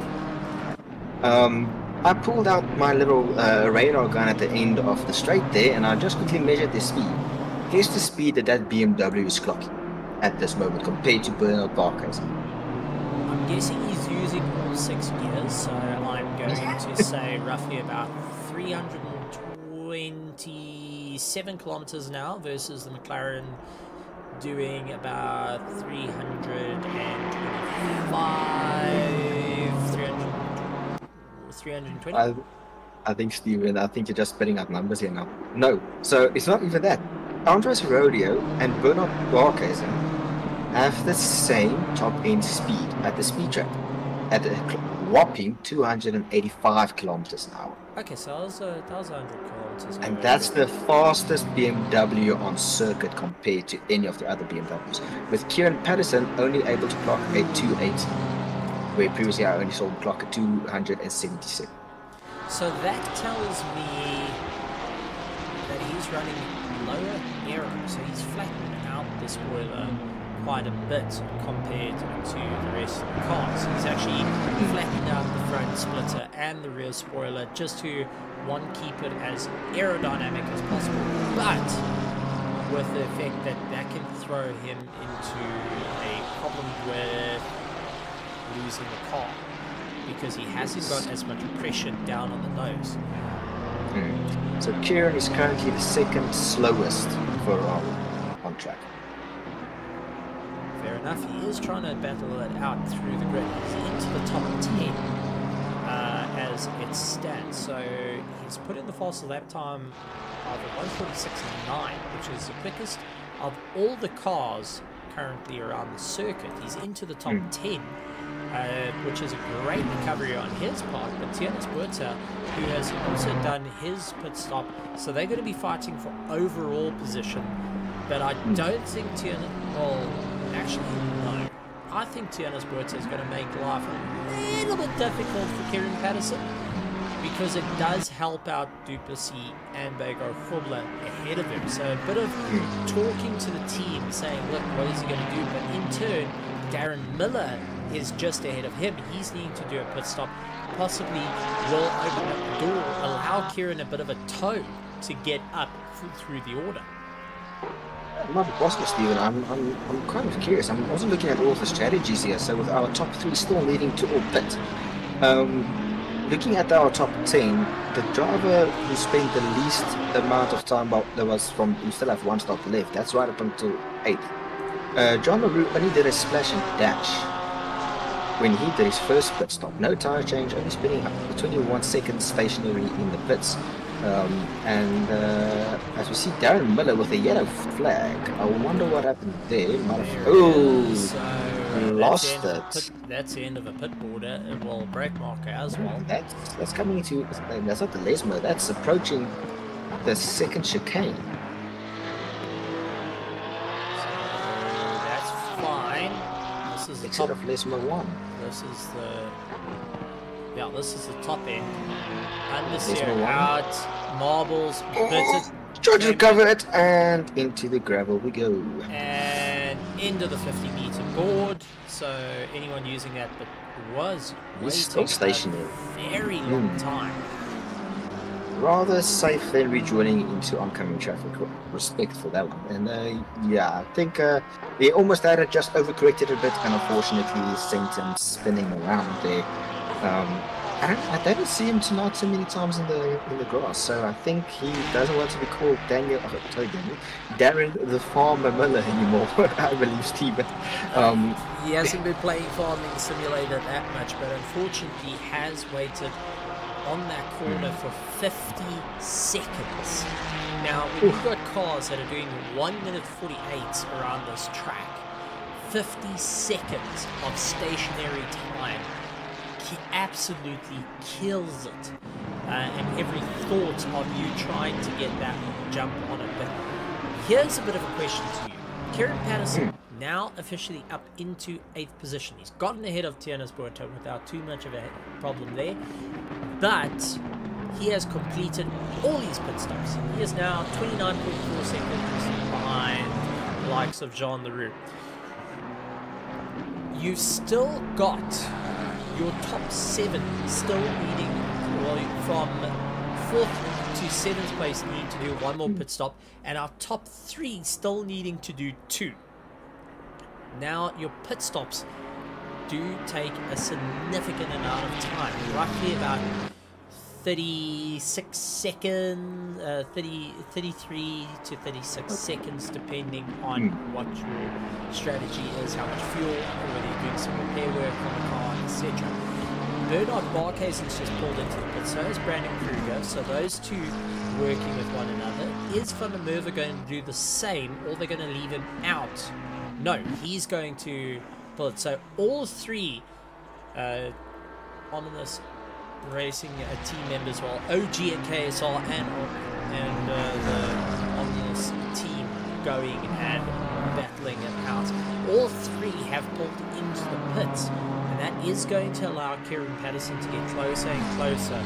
Maybe the worry has started to set in for the team, saying, listen, it's a little bit closer than planned. And we thought we had that breathing room, but we don't. Hybrid Racing, on the other hand, is going to keep their foot on the throttle. They do have a bit of spacing to it. So Du Plessis gets ahead of Mac van Merwe. Will likes of Bego Korbler. He does. So he gets up into position. Now they're all down onto their last pit stops. But Kieran Patterson's still within there in the shout. Unfortunately, we can't say the same to Werner Schoeman, down in 14th position, still needing to do a pit stop. I think a little too late for him. That's going to throw him down. And so is Darren Miller, uh, recovering after all his drives, still needing to do one more stop as well. So we have got a few drivers that are still in a risky situation and others, oh, a bit of Brandon Kruger and Duplessis getting argy-bargy of note there. And I think uh, Du Plessis just letting his thoughts be known on the little bit of argy-bargy moments. But the, uh, the, cars naturally want to understeer. You can see the bits of the 50 meter board scattered all over the show. Kenny unfortunately passed away there. Uh, Rip Kenny. Uh, Kenny. Kenny. Kenny is Kenny the coat. And we have Bob the Bollard at the pit entry. Yeah, Bob the Bollard, but Kenny Kenny's many things. Kenny is always getting wiped out. You know, it's like every South Park episode out of 2015 because 2015 they changed it. Uh, but Du and Kruger still going door to door now. Bego Korbler's coming into play. I wonder if Bago is going to say, listen, give me a shot here. Let's try and get onto the inside of Du Plessis and force him around? Or is Du Plessis now seeing red and is going on the attack? No, Korbler's pulling into the pit, so he's left Du Plessis, who's, um, I've, I've got to point out, is seeing red. There is no question here. He's on the attack. He wants that position. Brandon Kruger going very defensive and, oh, completely misses it. He straight lined it he did a Vettel in the Ferrari. I do not know which year. My Formula One knowledge is not that best. Well, um, I stopped watching the Except Vettel did not wipe out the the bollards there. Kruger kept his foot absolutely pinned through that, and that's going to be a unfortunately, uh, a warning. He hasn't got a, a drive-through as yet. He just uses he just uses speed tokens, Stephen. We'd like to call those track us a speed token. Yeah, I wouldn't, I wouldn't put it as the most ideal. Uh, as a as a driver, you kind of back off on those ones, but when it's a major, major fight like this, you, are going to keep mm. going at it. But well, yellow flags for car 91. Miller. Oh. Again, I hope not. Please don't say it's again just off. No, that's in the run up onto. second chicane again. Yeah, this is second chicane. Uh, over the sausage curve. Oh. Spinner. Yep. A oh. night to forget especially for the PW, PWS cars, as we see, uh, as we both saw, Kieran got uh, uh, was that awful accident at the begin at the beginning. Um, Alan having runners, Daniel and uh, uh, uh, getting involved with an accident, and now Miller, unfortunately, also not having the best time of his life. Unfortunately, unfortunately those those 10 rand dates don't do so well. Uh, Du Plessis now into the pit, so he's backed off a bit of bit of talking to the back of him saying, listen, it's not worth it to go hunt it down. Uh, but very interesting here, Bernard Barkhuizen has now lapped the likes of Kieran Patterson. Oof. So Bernard Barkhuizen has scored a lap, and Kieran, I think he's busy saying he's not going to fight Bernard Barkhuizen. That little bit of a flash there is like in karting, or in uh, cars, you, you signal to the driver, just go. I'm going to keep on the back of you. And I think that's the, the flashing going on there. It's just trying to talk to him, saying, listen, keep going. I'm not mm. in your fight as yet. Uh, but I want to keep the I want to keep the pressure on in case you make a mistake. But I want you to pull me closer to everyone. So for Bernard Barkhuizen, this is ideal that you got a lap on your competition. But at the same time, uh, it's a bit of a rough one. Bego Kobler going onto the back of Du Plessis. Now Du Plessis, is he going to give Kobler a little bit of a toe and then try and let by? I don't think so. Uh, because Jean Leroux is trying to close up the distance between him and Jean Leroux is making up a fair amount of time. Uh, hmm. Eric Kirstein Ah, oh, this is out of that second of the Lesmos, I think. Yep, second chicane. So there's the second chicane. So now heading into Lesmo 1. All looking fine here, but Lesmo 2 is unfortunately where it all goes wrong in a matter of seconds, depending on your line. And, oh, completely missed his brake marker. I think he was looking out for that 50 meter board. Mm. Brain went and found out uh, it's not quite there. So once again, that muscle memory comes into play. You start having to feel the car. Uh, we do have yellow flags for the 93 car. That's the hitman. And he's also having a bit of a night to forget as he's got, I think that is, is it Domingo or Mahai? Mm. So that might be... That's Musa. That's Musa. That's so that is number six. Oh, big tank slapper, big drift, and that's the end of those tires. Yes. Um, drive through for Nicholas Kukic on. Uh, ooh, I just make that for Nicholas on his debut here in the South African in South African League. I think he eh, got a bit upset after that first couple of incidents and uh, tried to drive the absolute rubble of that McLaren. Unfortunately, went a bit over some of the limits there got his oh. de- he's got his debut drive-through penalty here in the South African League. Unfortunately, not one that you want to have, but it uh, it does happen once in a while. And unfortunately, when you start pushing those limits, you start testing, you start poking at the stewards in the ribs. Well, they do retaliate. That's that's one thing I've learned. Both you and I have learned it is that that running. If you remember the meme uh, or the episode of Family Guy where Stewie comes in and keeps calling mom the whole time mum, to mummy, Lois. Mummy, mum. Brandon Kruger goes out wide. Uh, yeah, pretty much doing that. And the stewards, unfortunately, instead of saying what, started throwing the rule book out at him, and uh, that was all she wrote. It was the first time you start seeing a flying chalkboardy rays are coming at you. But Brandon Kruger having a bit of a problem through Parabolica by the looks of it. Oh, that- here comes loose. Oh, well, that was actually smart for, for him, Stephen. Um, instead of trying to force the car in and holding the brakes, just rather let go of the of the brakes, ease up on the steering angle, and just continue forward. As we see another this, yellow this flag. is this is number 93. This, unfortunately, Oh, is car Daniel De got Villiers. loose. And he's The car still, got loose. He is still Oh! stuck. He's in the wall. Oh, He's in Sorry. the wall.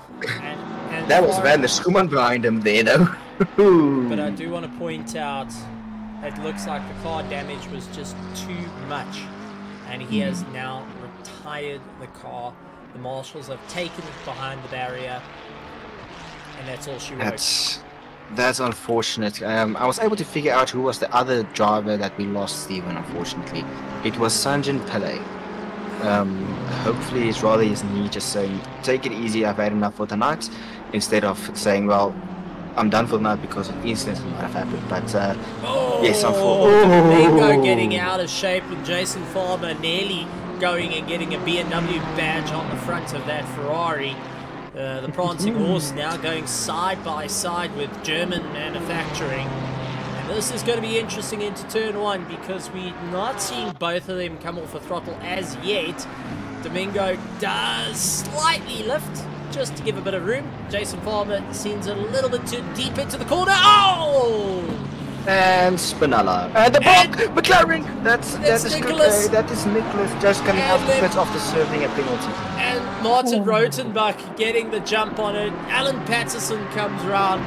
Alan now after Martin Rotenbach dives on the inside of Nicholas. Jason Farmer trying to come back on Nicholas, who is a blue flag at the moment. And Jason Farmer now on the back of Alan Patterson. Remember what we said, ladies and gentlemen. Farmer has to beat Patterson. If Patterson hmm. beats Farmer, that is the championship running to the final race with Patterson having a little bit more of a buffer. So ba- Patterson needs to get ahead of Martin Rotenbach. He needs to finish ahead of Jason Farmer as it stands. We do have contact though between Eric Kirstein and Werner Schoeman that oh. have had a little bit of a running into one another. The number five and the 433 car. But Now- in the final stages of the race, this is hmm. fatigue coming in. This is drivers starting to bite the bullet at this point, and uh, this is what happened. Eric Kirstein getting a little bit out of shape, slight little bit there. Yes, well, now remember, Stephen. Now these two are old teammates. Der Schoeman was a uh, was was a then um, hybrid academy driver, and uh, Eric Stein also. So uh, now that Van der's moved to a different team, now we're getting to see drivers not having to follow team orders there. So this is some real hard racing between those two drivers, and uh, I'm here for it. I'm not gonna say. I'm not gonna lie. Oh, Martin Rotenbach is a sandwich out. Jason Farmer did look on the inside. loose, and that's over. That's bank Watch out! Watch out! Watch out! Martin Rotenbach saw the light flash before his eyes, and now here comes this uh, Domingo who says, "Okay, I'm going to get round this, but I want to go. I want to go back." How did Jason save that? Because he's pointing straight and right behind Helen at this I, point. I, yeah, I don't know. I think he did hit the wall, but Martin Rotenbach, I want to take my hat off to because Woo! Bonk again. Oh, that was Martin Rotenbach into Farmer. But uh, let's, let's just go back a little bit here. Let's go 30 seconds. And you can see Martin Rotenbach just got a little bit of breathing room from that fight. Uh, it's a little bit, a little bit, but What happened with Farmer though? They did was it a hit that unsealed him, or just unfortunately missing the brakes? that's spotted Martin Rotenbach a little bit of a bump into Jason Farmer. That's that's a that's a car. Unfortunately, having some issues there. Oh, Farmer now behind Rotenbach. He has massive damage on the car. I'm calling it. He has to pit after this lap. He can't. That car is loose everywhere. This has blown open the entire championship. This means that Alan Patterson will make, might even, knock on wood, no commentator's curse, reclaim the lead of the championship, Stephen. Well, let's take a look at this because this is a minute, and there's a there's one of the contacts that happened that light contact.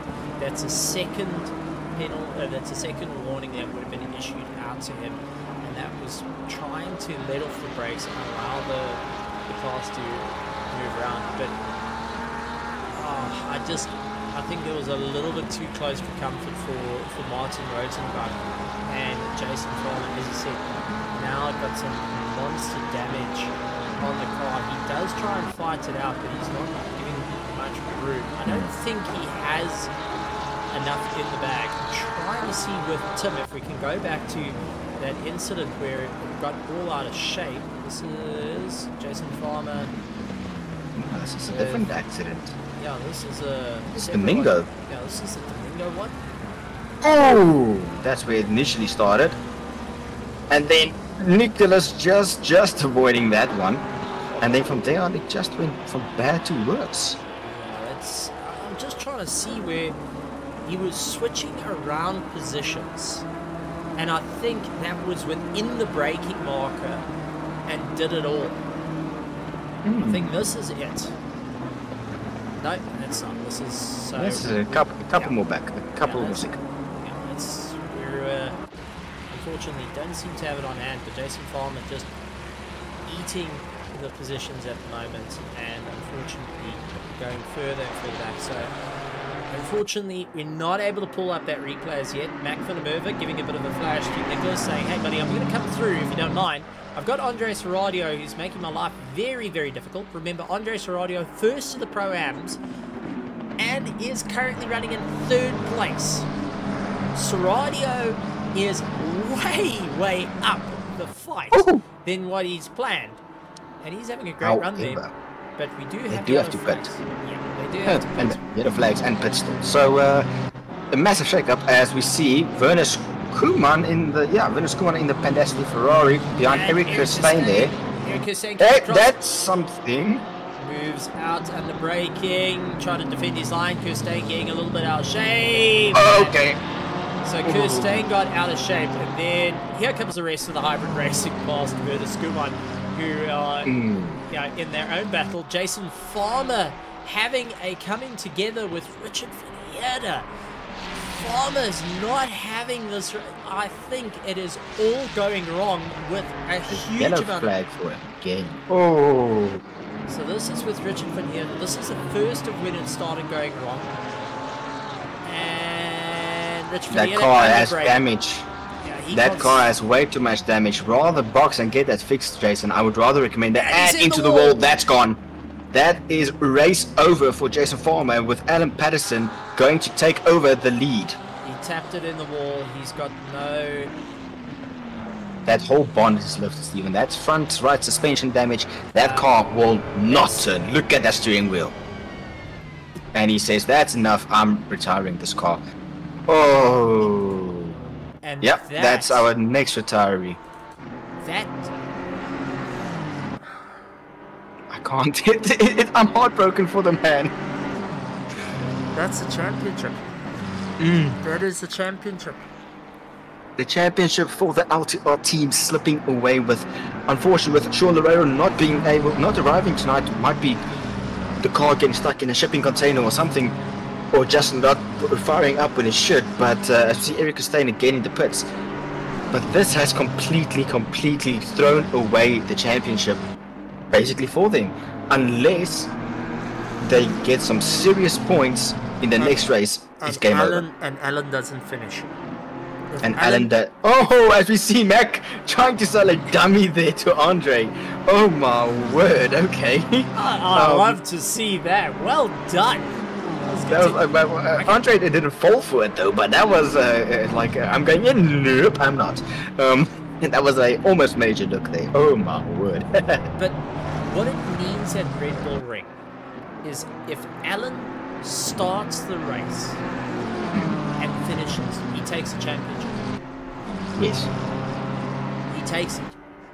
LTR would have lost and fallen into second and, second and third place, maybe a little bit further down that because, oh man, oh man, just just thinking about it is It's I gut think wrenching. I think very few can say they they've been there. Uh, Yeah. Know, very few can say they have been in those moments where you're fighting it that hard in the championship and it gets stripped from you right at the last. I mean, we go back at the, the heart and throat moments with Lewis Hamilton and the likes of Uh, yeah, Max Verstappen, Michael Schumacher, Mm. also having the run with Hockenberg. Uh, was it Hockenberg? No, no, it wasn't. Um, I forgot his name. Uh, Wait, what's, even- what's, his, what's his again? this is, uh, then you had like Rosberg. Senna. No, no, it wasn't. It wasn't with Rosberg. Um, but then you had the likes of Senna and Prost, where it all just stripped away at the last, and I think that's what we we're starting to see here. Ooh, they stop selling the dummy there. Oh, not really. Just I'm just saying, nope, I'm going to pit. I think you're thinking of Cena, oh, not Senna, with Schumacher and Damon Hill. Yes, that was one. Yes. Oh, drive through Oh, that's speeding in the pit lane. No, that's not. Sorry. No, that is That's track that's limits. track limits. That on Ascari, a well-known place where you can get track limits there. But um, Yeah, I don't know, Farmer Steve. In, in, on, on the pit wall, giving us a little bit of saying, unfortunately, that is Mm. is pretty much it But- for the championship mathematically, unless, and I, I, know I, Mm. we've got to throw out all scenarios here. We're in the final six minutes of the race. It's been uh, it's been crazy, but unless Alan doesn't start the next round, which I I don't think might happen. Which is but a probability of anything can happen. I, I think Alan would literally boot Kieran off the rig to ensure They that move. I think they would. I think I- he would actually I- take the rig and strap it to a freaking power station somewhere directly, Steven. no, no, it's more in the lines of Kieran. Remember all the years I changed your nappies. that, Yes. that that dad moment will come out. That's for certain. Listen here, son. Now I'm pulling the dad card. Get out of it. oh my, that would actually be something to witness. I'm not gonna lie. Uh, oh, you know, but oh man, it's it's it's a gut wrenching moment. Mm. And, and Jason, heart goes out to you, mate. Really, heart goes out to you on that one. Uh, but this this is the difficult. You know, this is what it comes in when you've got pro and all together. That anything Mm. can happen. It's multi-class racing. Uh, you can have those moments that just throw a spanner in the works. That really just change up the entire ball game of of what you're doing and you know, it's all I can it's say it's is multi-class. it might be over for this race, Mm. but you still have a chance to get within the top three or second and third by finishing next race. So put your Yes. eyes on to Red Bull Ring, new circuit, new grounds, new setups. People not having a uh, an opportunity there to get as much practice as they would like, and I can sure It's a brand new circuit. most people will be driving on GT2s instead of GT3s on that track. Uh, I know I took a GT4 out on the circuit and completely missed every break. but you know, It's gut it, it, it might not it might not be the season, but there's still three more seasons in this 2024 to go for it. That's the one thing you've just got to have that mental shift to it. It's, it oh, I, I don't know how to. You, you can't It's- sugarcoat it. it. It's one of those things. Alan Patterson and Martin Rotenbach going at one another. This is for third. Now, Alan's trying to maximize. Ooh, Brandon Kruger with a yellow flag. What happened there? Let's go and take a look. That's Richard Van Heerden ahead of him. And I think Brandon Kruger just getting it all out of shape. Uh, looking okay there. Might have just gone off track there. I prefer off track than having him in the wall there, as you see here. Peru goes off circuit. Very wide run there. He's just checking out the grandstands once again. Okay, again. Oh, too much. Ooh, Tokyo Drift. Someone played the man the theme song. He just drifted in that gravel. well done, kept it well together, but whoo, that was hard. That was a hard in throat moment there, Stephen. I'm not What gonna I'm- lie. What I'm noticing, his front suspension's very soft. To do that, he's Mm. got a he's got a high anti-roll bar but soft suspension, so the whole car is stiff on in terms of body roll, but the nose has all the weight shoving forward, pivoting on the nose. Late braking like that's not working He's going to have to either stiffen the suspension or move the brake bias to the rear a lot more to just get everything a little bit sorted out because as you can see it just has that seesaw effect coming into play. But with that being said, Bernard Barkhuizen has everything on the cards to finish up in first place. Uh, Juan Duplessis currently would have second, Vega Kubler would have third, Macklin Merva would have fourth. Uh, he's got pressure from Andres Radio though, and then you've got Kieran Patterson. A great recovery after a nightmare of a start is lying in seventh position, will be moving up into sixth as soon as Brandon Kruger gets into the pits. Uh, I would think, I don't think so. I think he's No, still a he's splash and dash.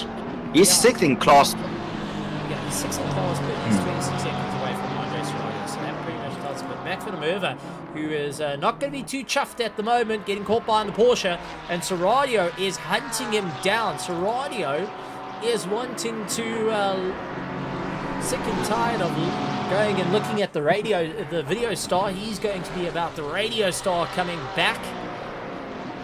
Video didn't kill the radio star on this one. Dives up on the inside. Couldn't get it all sorted out. But Mac van der Merwe really trying to show off what he can. Could we say this is a bit of a Intel versus Apple situation? Mac versus radio Intel, running on Intel versus Apple. Yeah, well that's what I'm saying. You've got a you've got a No. Mac, you've got a Mac, and you've got an Intel. Oh, if you mean if you're talking about phones, Apple is the phone, Mac is the computer. now you just broke my you just broke my IT brain there, but Steven. Yeah, I mean, Mac versus well, Mac versus uh, Windows is more likely, but um, I don't know. Chris running into a bit of a problem, so he loses out. Uh, Brandon Kruger rejoining after his pit stop, currently in fourth place, will have this little duo closing up on him on a rating not. Bernard Barkhuizen, uh, probably see it, Vego Kobler currently first, second, and third, but that does put hybrid racing second and third lockout as it stands, which does help in the team championship, I add because you want to have that sort of lockout. Uh, PWSR just losing that little bit of, bit of grip on it, so does the OG and KSR team uh, losing that little bit of grip. Andres Serradio looking to add a bit of salt into the wounds here with our pros. And Andres Serradio been very, very impressive, but we can't forget Tails Woods is in 8th place, Alan Patterson uh, is in 10th, and that is second and third. They are running with one another, with Martin Rotenbach who uh, is right on the back of Alan Patterson towards the end of this race. So there is still some open cards here. 25 seconds to go in the race. And we've just got confirmation from Jim saying that our leader, Bernard Barkhuizen, is on the final lap. So we'll follow this little battle going on because this is for the top four in a race. Uh, this is going to be a monster of a run. So, if Martin Rotenbach can get ahead of Alan Passon, it can influence the championship points into the final round. If Martin Rotenbach can't, Alan stands in with a huge, huge chance at the hmm. moment. So, Luxury Times Racing is putting all the faith into the little Thomas the Tank Engine Speed Demons car over here, this little blue Porsche, hmm. To uh, get ahead of a Lamborghini, uh, hooking a little bit too much curb. He is powering on. Allen trying to go on the defense, but coming up towards uh, outer Lesmo 2 into Ascari. And uh, this is Bernard Barkhuizen beating out the charge. So great run for him, and what a, a workout for him. A little bit of early braking into turn one just to avoid the Constantina effect, unfortunately, comes into play. Heineke going and losing out a bit of drive, and that has dropped him behind Richard van Heerden. Here comes Jean Leroux as well to just put a bit of salt into the wound. But uh, coming up to a line, Bernard Barkhuizen will be taking the checkered flag for the second last round of the RaceFace Pro GT3 Championship right here at Monza. Well done to Bernard Barkhuizen and scoring valuable points for his championship. Then second place is going to be to Juan Duplessis and Bago Krobler will be finishing out third. Brandon Kruger looks to be in fourth place. Mac van der Merwe has still got Andres Radio on him, but the championship lying in the hands of our pro-am, Alan Patterson and Martin Rotenbach looking to take it down to the wire, but Martin Rotenbach lost out the drive, and I think Alan had, may have done enough to get ahead. Going to be late on the braking here, but I think Martin Rotenbach has slacked off the throttle a little bit just to try and save the tyres, save a bit of fuel. And Alan has opened up that gap 1.8 seconds. But uh, running through the order, Bernard Barkhuizen, Kurt Dipsy, Bego Krobler, uh, Brandon Kruger, along with Mac van Andre Serradio taking first place of the Pro-Ams, Kieran Patterson will be taking seventh position.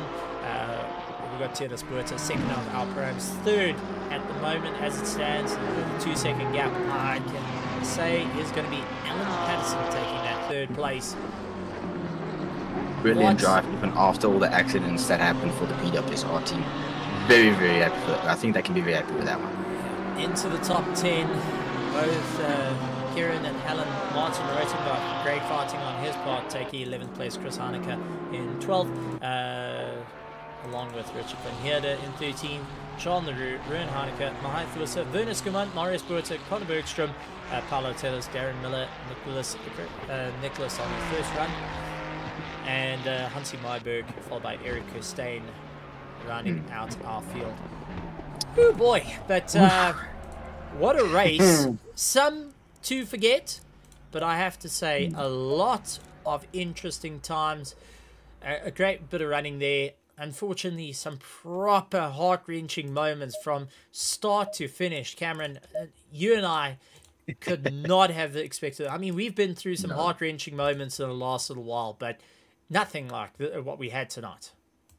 No, absolutely not, Stephen. And uh, as as we are running, I was continuously uh, moving them uh, the positions around for the drivers on on my little spreadsheet in terms of the pro am and pro classes, and this going into the final round, the battle for this championship in the pro, has even as gotten way more spicy. I'm not gonna lie. Um, I'm looking at with the the gap for, uh, between Kieran Patterson and Bernard Barkhuizen from something that was almost 20 points from 14 points, it has closed down to only 10 points.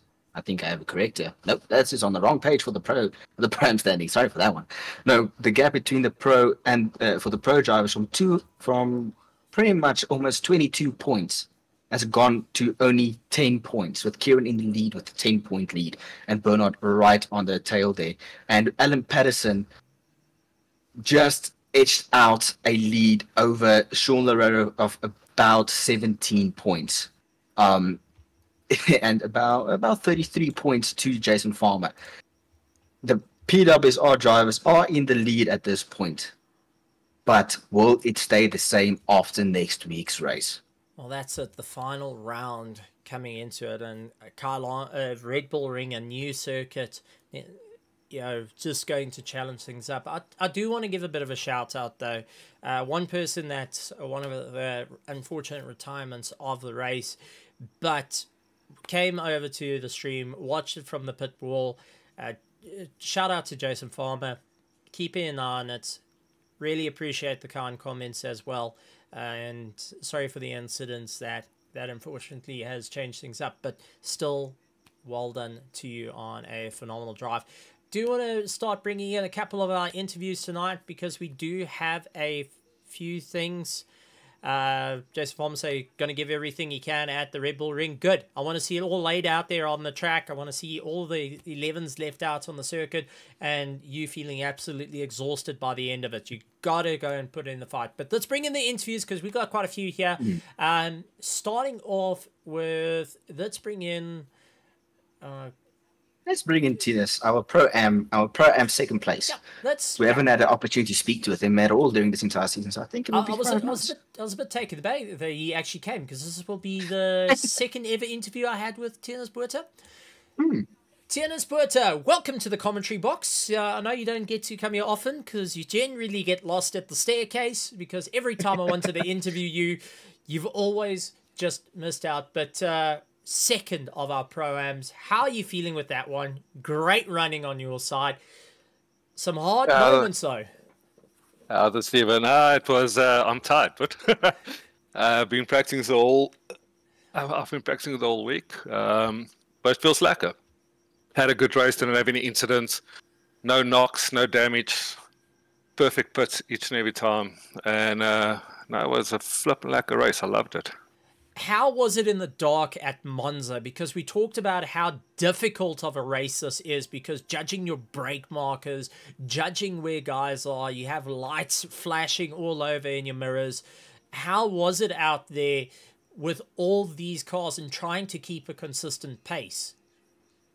Um, it actually comes down to muscle memory, I think. Um, and you just try and hit your, you actually try and hit the brake mark each and every time. Don't rely on a board or something next to the uh, next to the track because that gets taken out.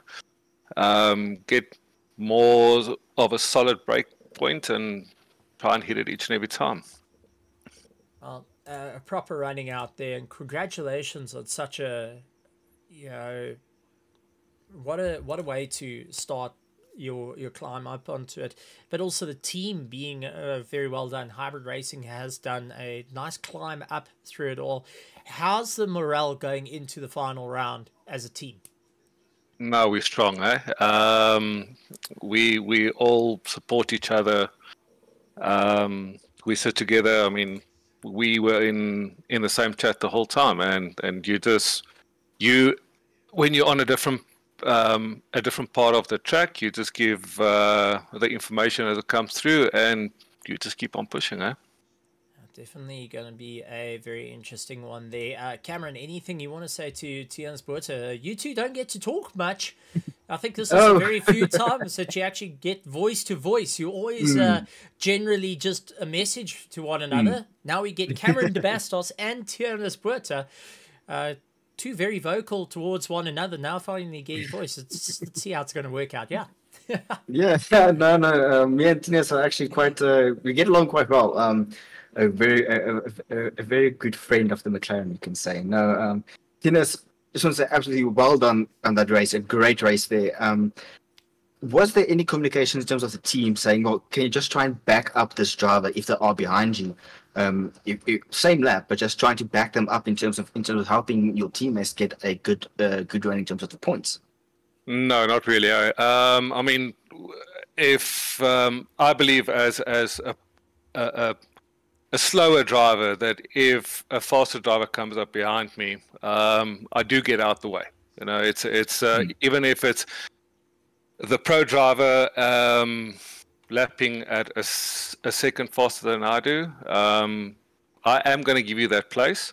Probably not going to give you it right away um, because I also don't want to lose time to the guy behind him. Um, but uh, no, no communication to say, listen, but you need to uh, you need to back up that guy because uh, he's going to come past us now. So nothing like that. Eh? More, more, that's good to hear. More in the lines of don't hold me up because I'm coming through like a, a freight train at this point. Yes. That's it. That's it. But um, uh, you being on the pro am side of the McLaren for well with the McLaren car, give us some insight on how did the, how did the car respond? Did it was it a comfortable car to drive immediately, or was there some challenges that you faced regarding that car? I was running a standard setup. Uh, just got the pressures right. Um, I mean, I was on a two wing and a two uh, uh, a two traction control. So car was extremely stable. Um, myself and Q, um, we've been working on the McLaren the whole week, and I mean, he was running in um, full quality trim. He was doing a 45.6, if I can't, uh, if I'm not mistaken, 45.6 or 45.8. which is extremely fast. Um, and I it was in the high 47s on on quali. So it was a very fast, very lacquer car to drive. Oh, thank you. I mean, that's it, it's really good to hear a yeah, the bit of chat there, a bit of insight into it, and well done once again on the run, and looking forward to seeing what you can do at Red Bull Ring. Uh, Tiana Sport to everybody from Hybrid Racing. Uh, anything you would like to say to all our spectators out before we let you go to enjoy the festivities? Hope to see you guys at the Red Bull Ring and um, Hybrid Racing for the win. Have a lucky one. There we go. I like that little bit of spice mm. added in. Don't worry, we uh, Cameron and I are going to be there. We got the economy flights. Uh, you know, you have economy. Are, well, at first I was I, sitting in the I, in the footwell, but now now it's economy. I only fly business, man. I only fly. I'm kidding. Economy is more than fine enough for me. Thank you very much, Tiana Sporta. Okay, cheers, so guys. Let's bring in a Bago Krobler uh, into the chat. Bago Krobler, welcome to the commentary box. It's uh, nice to have you once again. This time, having a fight through and throughout with your fellow teammate and championship rival. Not an easy time there because there wasn't. Uh, I don't think there was any uh, working with one another. I think there was a little bit of trying to one up each other through the corners. How are you feeling after that one, bud? Uh, yeah, thanks, Steven. Good, feeling good. Um, to be honest, I wasn't expecting anything really result-wise tonight. Um, McLarens are fast, yeah. So, um, yeah, I was, uh, I was, I was actually expecting to have a bit of a hard time. So to get pole position first of all was a, a big, big surprise because I've seen the lap times that um, Kieran was able to do during the week, and they were quite frankly scary. So, yeah, it seems like uh, just nobody really hooked up a lap, and um, from there, sort of the race, I kind of knew it would be not, not really a case of trying to win the race, but just trying to not fall back too much because uh, I knew just on pure lap time, probably giving away about two tenths to Kieran. So, um, but yeah, but when he actually got to me, we didn't, we weren't actually fighting. So we were trying to work together because um, obviously we didn't know strategy-wise what um, and Kruger would be doing. So, um, yeah, when whenever the lead car made a mistake, the we sort of let the following car go through. But um, yeah, we certainly weren't gonna actually try and overtake each other. Our goal was sort of to just try and stay in, uh, in podium contention with both cars. And also now with the team championship having a lockout of second and third right at the, the top of things, that does help a team championship. What's your thoughts heading into the final round? Red Bull Ring, a completely new circuit to RaceFace Pro GT3 Championship, and uh, now having just a new spanner in the works thrown in the championship itself uh, starting to op- open up with you and Kieran getting a little bit closer to the top end of the order, plus also a little bit of bragging rights of who beats who. Is there a, a little bit of nerves kicking in for next week? Um, no, not really at this stage. I think Kieran's missing the last race, so also no point in fighting each other too hard tonight, really. Um, but you know, he, he put in a lot of work, and uh, tonight was his. Um, how can I say? His, Moment um, to shine like headlights. Yes, exactly. he's, he's, he's had really good pace throughout the season, and he's always had some bad luck. So um, it was nice to see him finally get the result that he deserves. As for the teams championship, yeah, well, uh, both both of us obviously hybrid cars, but we're not uh, scoring points for the same team. So my teammate is Daniel, who unfortunately has now missed two races in a row. So we are pretty much out of contention for teams champ. I think if we can hang on to third next week in the teams champ, then then we'll be happy. Okay, so this is a this is a call out to Daniel Rowe, buddy. Uh, you got you got to pull the cards here. You got to come back. You got to get racing. You you can't let Bay go down. Otherwise, well, let's just say the next practice session, if you miss your brake marker I don't think Bango Yeah. will be uh, too forgiving on that one. Uh, Yeah, Cam- but also I think Daniel, I, I'm leading Daniel in the in the drivers' champ now, so you won't like that. So I'm sure he'll be back. Ah, okay, okay. So a bit of uh, inner team rivalry coming into play as well. Fair, fair enough. Can can fully support that one. Uh, Cameron, anything you would like to say to uh, Jan Bago Grobler, who uh, came third in tonight's race for round seven of the RaceFace GT3 Championship season seventeen?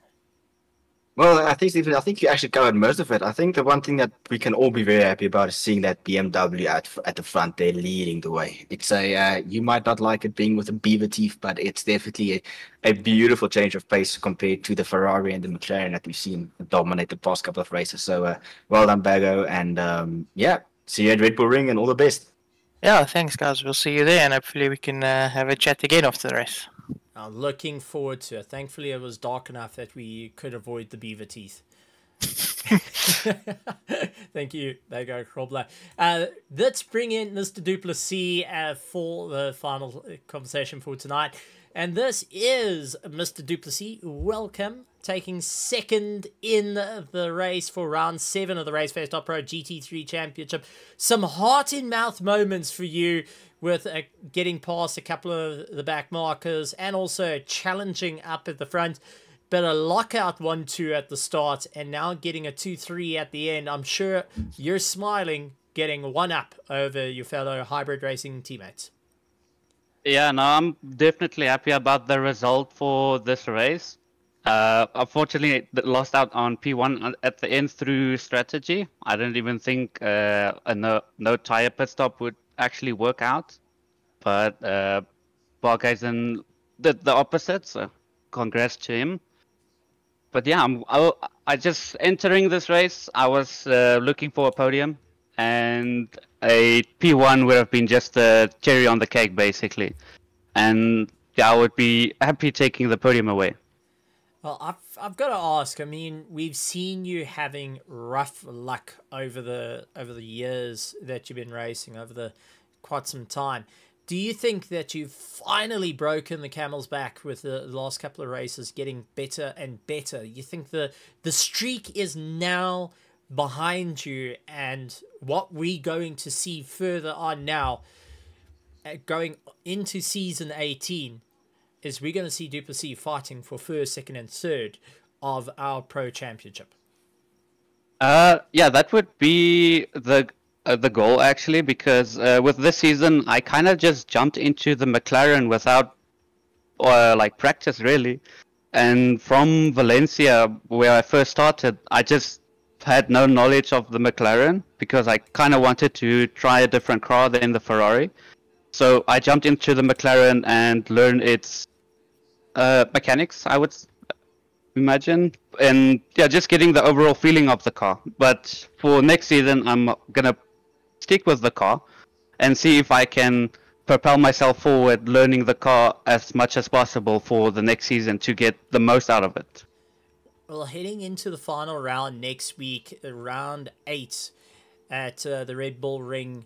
What's your feeling into that? A new circuit for the car, new circuit for the championship, and a new circuit for you.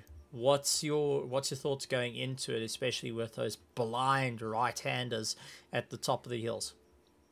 Um, it's gonna be fun to watch. Uh, unfortunately, I'm not gonna participate there because I don't have the DLC and the it's a bit grim here at the moment. So I'm gonna unfortunately have to pu- pull myself out of the Red Bull Ring, even though I really want to race there, the new track and everything. But unfortunately, I'm gonna miss out on the next week's race. Oh, I, well, yeah, fair, fair enough, and a bit of heartbreaking to hear that, but still, I mean, throughout the season, you have been to and fro. You've been on both sides of the coin, and I, I take my my hats off to you, bud. What a phenomenal drive your side. Just yeah, keep keep it up, keep up the amazing stuff. And tonight you showed what you could do and really put a, a stamp out on everyone and say, hey, look, I'm here, I'm in action, and I'm ready to go racing. Uh, Cameron, anything from your side? Um, no, not very much. But I'm just glad to hear that that another driver got decided to use the McLaren out of nowhere and uh, clearly seems to be enjoying it. So, but well done, Kieran. Um, okay, I think this is something me and both and Steven need to discuss. How do we pronounce your name? Okay, it is it is Qn. Kieran. Okay. Yeah, Qn. it's Gotcha. Qn. Yeah, like a hard Q. Qn. Okay. Okay, well, yeah. now I know. So I, wa- I was right when I originally started. Okay, I will give you back your packet of chips that we've been installed. I'm still waiting for that one, so don't worry about that one. No, I I had Yellowman, and then we had um, we had uh, Dylan Hall walk up and say, "You don't know how to s- say the guy's name correctly." You buggers! I do know how to say the name. Uh, Uh, Stephen did ask, I think, two seasons ago how to pronounce the name. And I still And, got uh, it wrong quite a bit. yeah, yeah I, I think it's it's a it's not uh, very um, how to put it well known. I suppose it's not a well known uh, name, so uh, there's a lot of nickname nicknames of this name. So uh, I, it doesn't really bother me that much uh, because I know it's difficult to pronounce the first time or to get used to it. But yeah, I, yeah, I, it, I heard the, the, the first the nickname, and I, I, I quite like it, and that's cute. Yeah. Because Yeah. you know what you've done tonight? You were the cue to the 007s. You came up with the gadgets. You were ahead of the pack, and that's how you got your second place right here for round seven of the RaceFace.pro GT3 Championship for season 17. Uh, I mean, absolutely phenomenal stuff. And since you're our last interview for the uh, night, is there anything you would like to say out to all the teams, all the drivers, the spectators watching now and in the future? Um, yeah, well, I just want to say thank you for uh, helping with the commentary side. I think uh, without the commentary, uh, the races would not like uh, spread out much and branch out to a lot of different people. Um, and to the admins of the RaceFace as well for setting it, uh, setting everything up. And then we can't forget about the drivers that participates into this event and get the car to drive over the finish line. And then the spectators also uh, uh, cheering on their respective teams that they want to uh, see winning. And yeah, I think we can't do much without them. Uh, it's honestly amazing stuff. Uh, Mr. Duplessis, thank you so much. Well done to Hybrid Racing. Uh, for anyone out there, and I'm going to put this out to, to everyone out there into the ether. If you feel that you can help out before next week to get a driver onto the circuit, please head over to the raceface.pro Discord and send Duplessis a message let's see if we can get the driver to the track at Red Bull Ring. I mean, it's sad. I don't like drivers missing it out. Hearing the circumstance, this is my plea out to everyone. Get in touch with the chap. Let's see if we can get him to the track, and let's get him out there. Yeah, that that's my that's my plea to everyone. And I'm gonna ask, Kieran, if we can get Yes. you there, if we can Yes. get you to the track next week, will you be on the circuit? Uh, 100%. Okay. I will definitely because it's the last race, and I basically want to see. I haven't really looked at the points, but I want to at least finish at the top five, or at least where the best possible I can end. I definitely want to uh, race at Red Bull Ring, not only because it for the points, but also I haven't driven. It's a new circuit, so it's uh, gonna be exciting. Okay. So there we go. Got a, a bit of a challenge out there to the ether. So if you feel that you can, head over to the raceface.pro Discord, look for Kieran Duplessis, uh, part of the hybrid racing, and let's see if we can get that driver out onto the track. But Kieran, thank you so much for joining us right here. Congratulations on the second place. Phenomenal drive on your side. And look forward to, uh, well, I'm, I'm going to say it. I look forward to seeing you next week. thank you. I'll see what I can do to get myself on the grid as well. But yeah, thank you, and I appreciate it a lot. All right. So thank you very much uh, to Kieran Duplessis. Uh, Cameron, a lot of hearts and mouth moments there. A lot of you know getting to see the championships changing ebbs and flows. Uh, a lot of drivers having some positive moments and negative moments, but what an amazing time. Uh, but we've also reached the end of the show, end of round seven. Next week, the final round, and we're heading to the Red Bull Ring. I'm really, really excited. The circuit that I've actually done rather well in terms of iRacing. I'm looking forward to seeing what the ACC drivers can do. Uh, but ultimately, this is going to be a race down to the wire. What's your hmm. thoughts mm. on it? Well, I, I believe there's going to be an action-packed uh, race next weekend. unfortunately, I've never driven Red Bull Ring. Um, I've driven in the F1 sim, uh, not not really one that I enjoyed much, but uh, I believe that as all other races, or all all the other races that I've been doing this entire season, tomorrow or next week is going to be action-packed. Um, we thought that the pro uh, race was pretty much under lock and key for for Kieran Patterson there, but uh, tonight has blown it open completely. So not only is it not a runaway season this year for any of the championship, it is a battle until the end, not just for the drivers but also for the champion, for the team's champ. So it is definitely a nail biter and a showdown till the very end. I'm excited to see where this is going to go, Stephen. This is going to be a proper run. And once again, out to you guys from SA Lube, there is a running competition for our spectators down in the link during the broadcast of this week. You guys can go and enter to win 300 Rand to go and uh, win 300 Rand for the week and also that grand prize coming into play of 2,000 Rand at the end of the season, sponsored by SA Lube. A big shout out to them, and we look forward to seeing what they can do and who's going to win that one. But Cameron, we're at the end of our racing week now, and we're going racing on the weekend. We have got some exciting stuff next week all lined up. Gonna be a proper, proper race. Anything you would like to say to our spectators before we sign off? And don't you dare take my uh, my saying. It's I'm I'm taking it back. I'll copyright strike you after what you did to me last week. Uh, we can just sing happy birthday again to Stephen. No, um, I'm joking. No, next, uh, next, next week is going to be uh, full of action day. We have not just the GT3s on Thursday, but we also have the Formula 4s, uh, uh, well, the finale. F4s running on Tuesday. The finale on that one, and it is also a very close race there. And um, yeah, me and you racing this weekend, and uh, it's it's going to be a week full of action racing uh, starting from uh, from uh, from Tuesday. Absolutely tremendous stuff. So, ladies and gentlemen, boys and girls, thank you so much for joining us this evening, and we look forward to seeing you next week, Tuesday, for the final round of the SA Lube F4 Championship Season 3 and then our final round of the GT3, uh, the Raceface.pro GT3 ch- uh, Championship for season 17 on Thursday. On behalf of Cameron Bastos, big thank you. Our James Hunt of the Sim Racing World. And uh, also from myself, Stephen Koenig. We'll see you next time right here at Raceface.pro. Hit the subscribe button, hit the like, hit that bell notification icon. Let us know what's been your favorite part of tonight's race.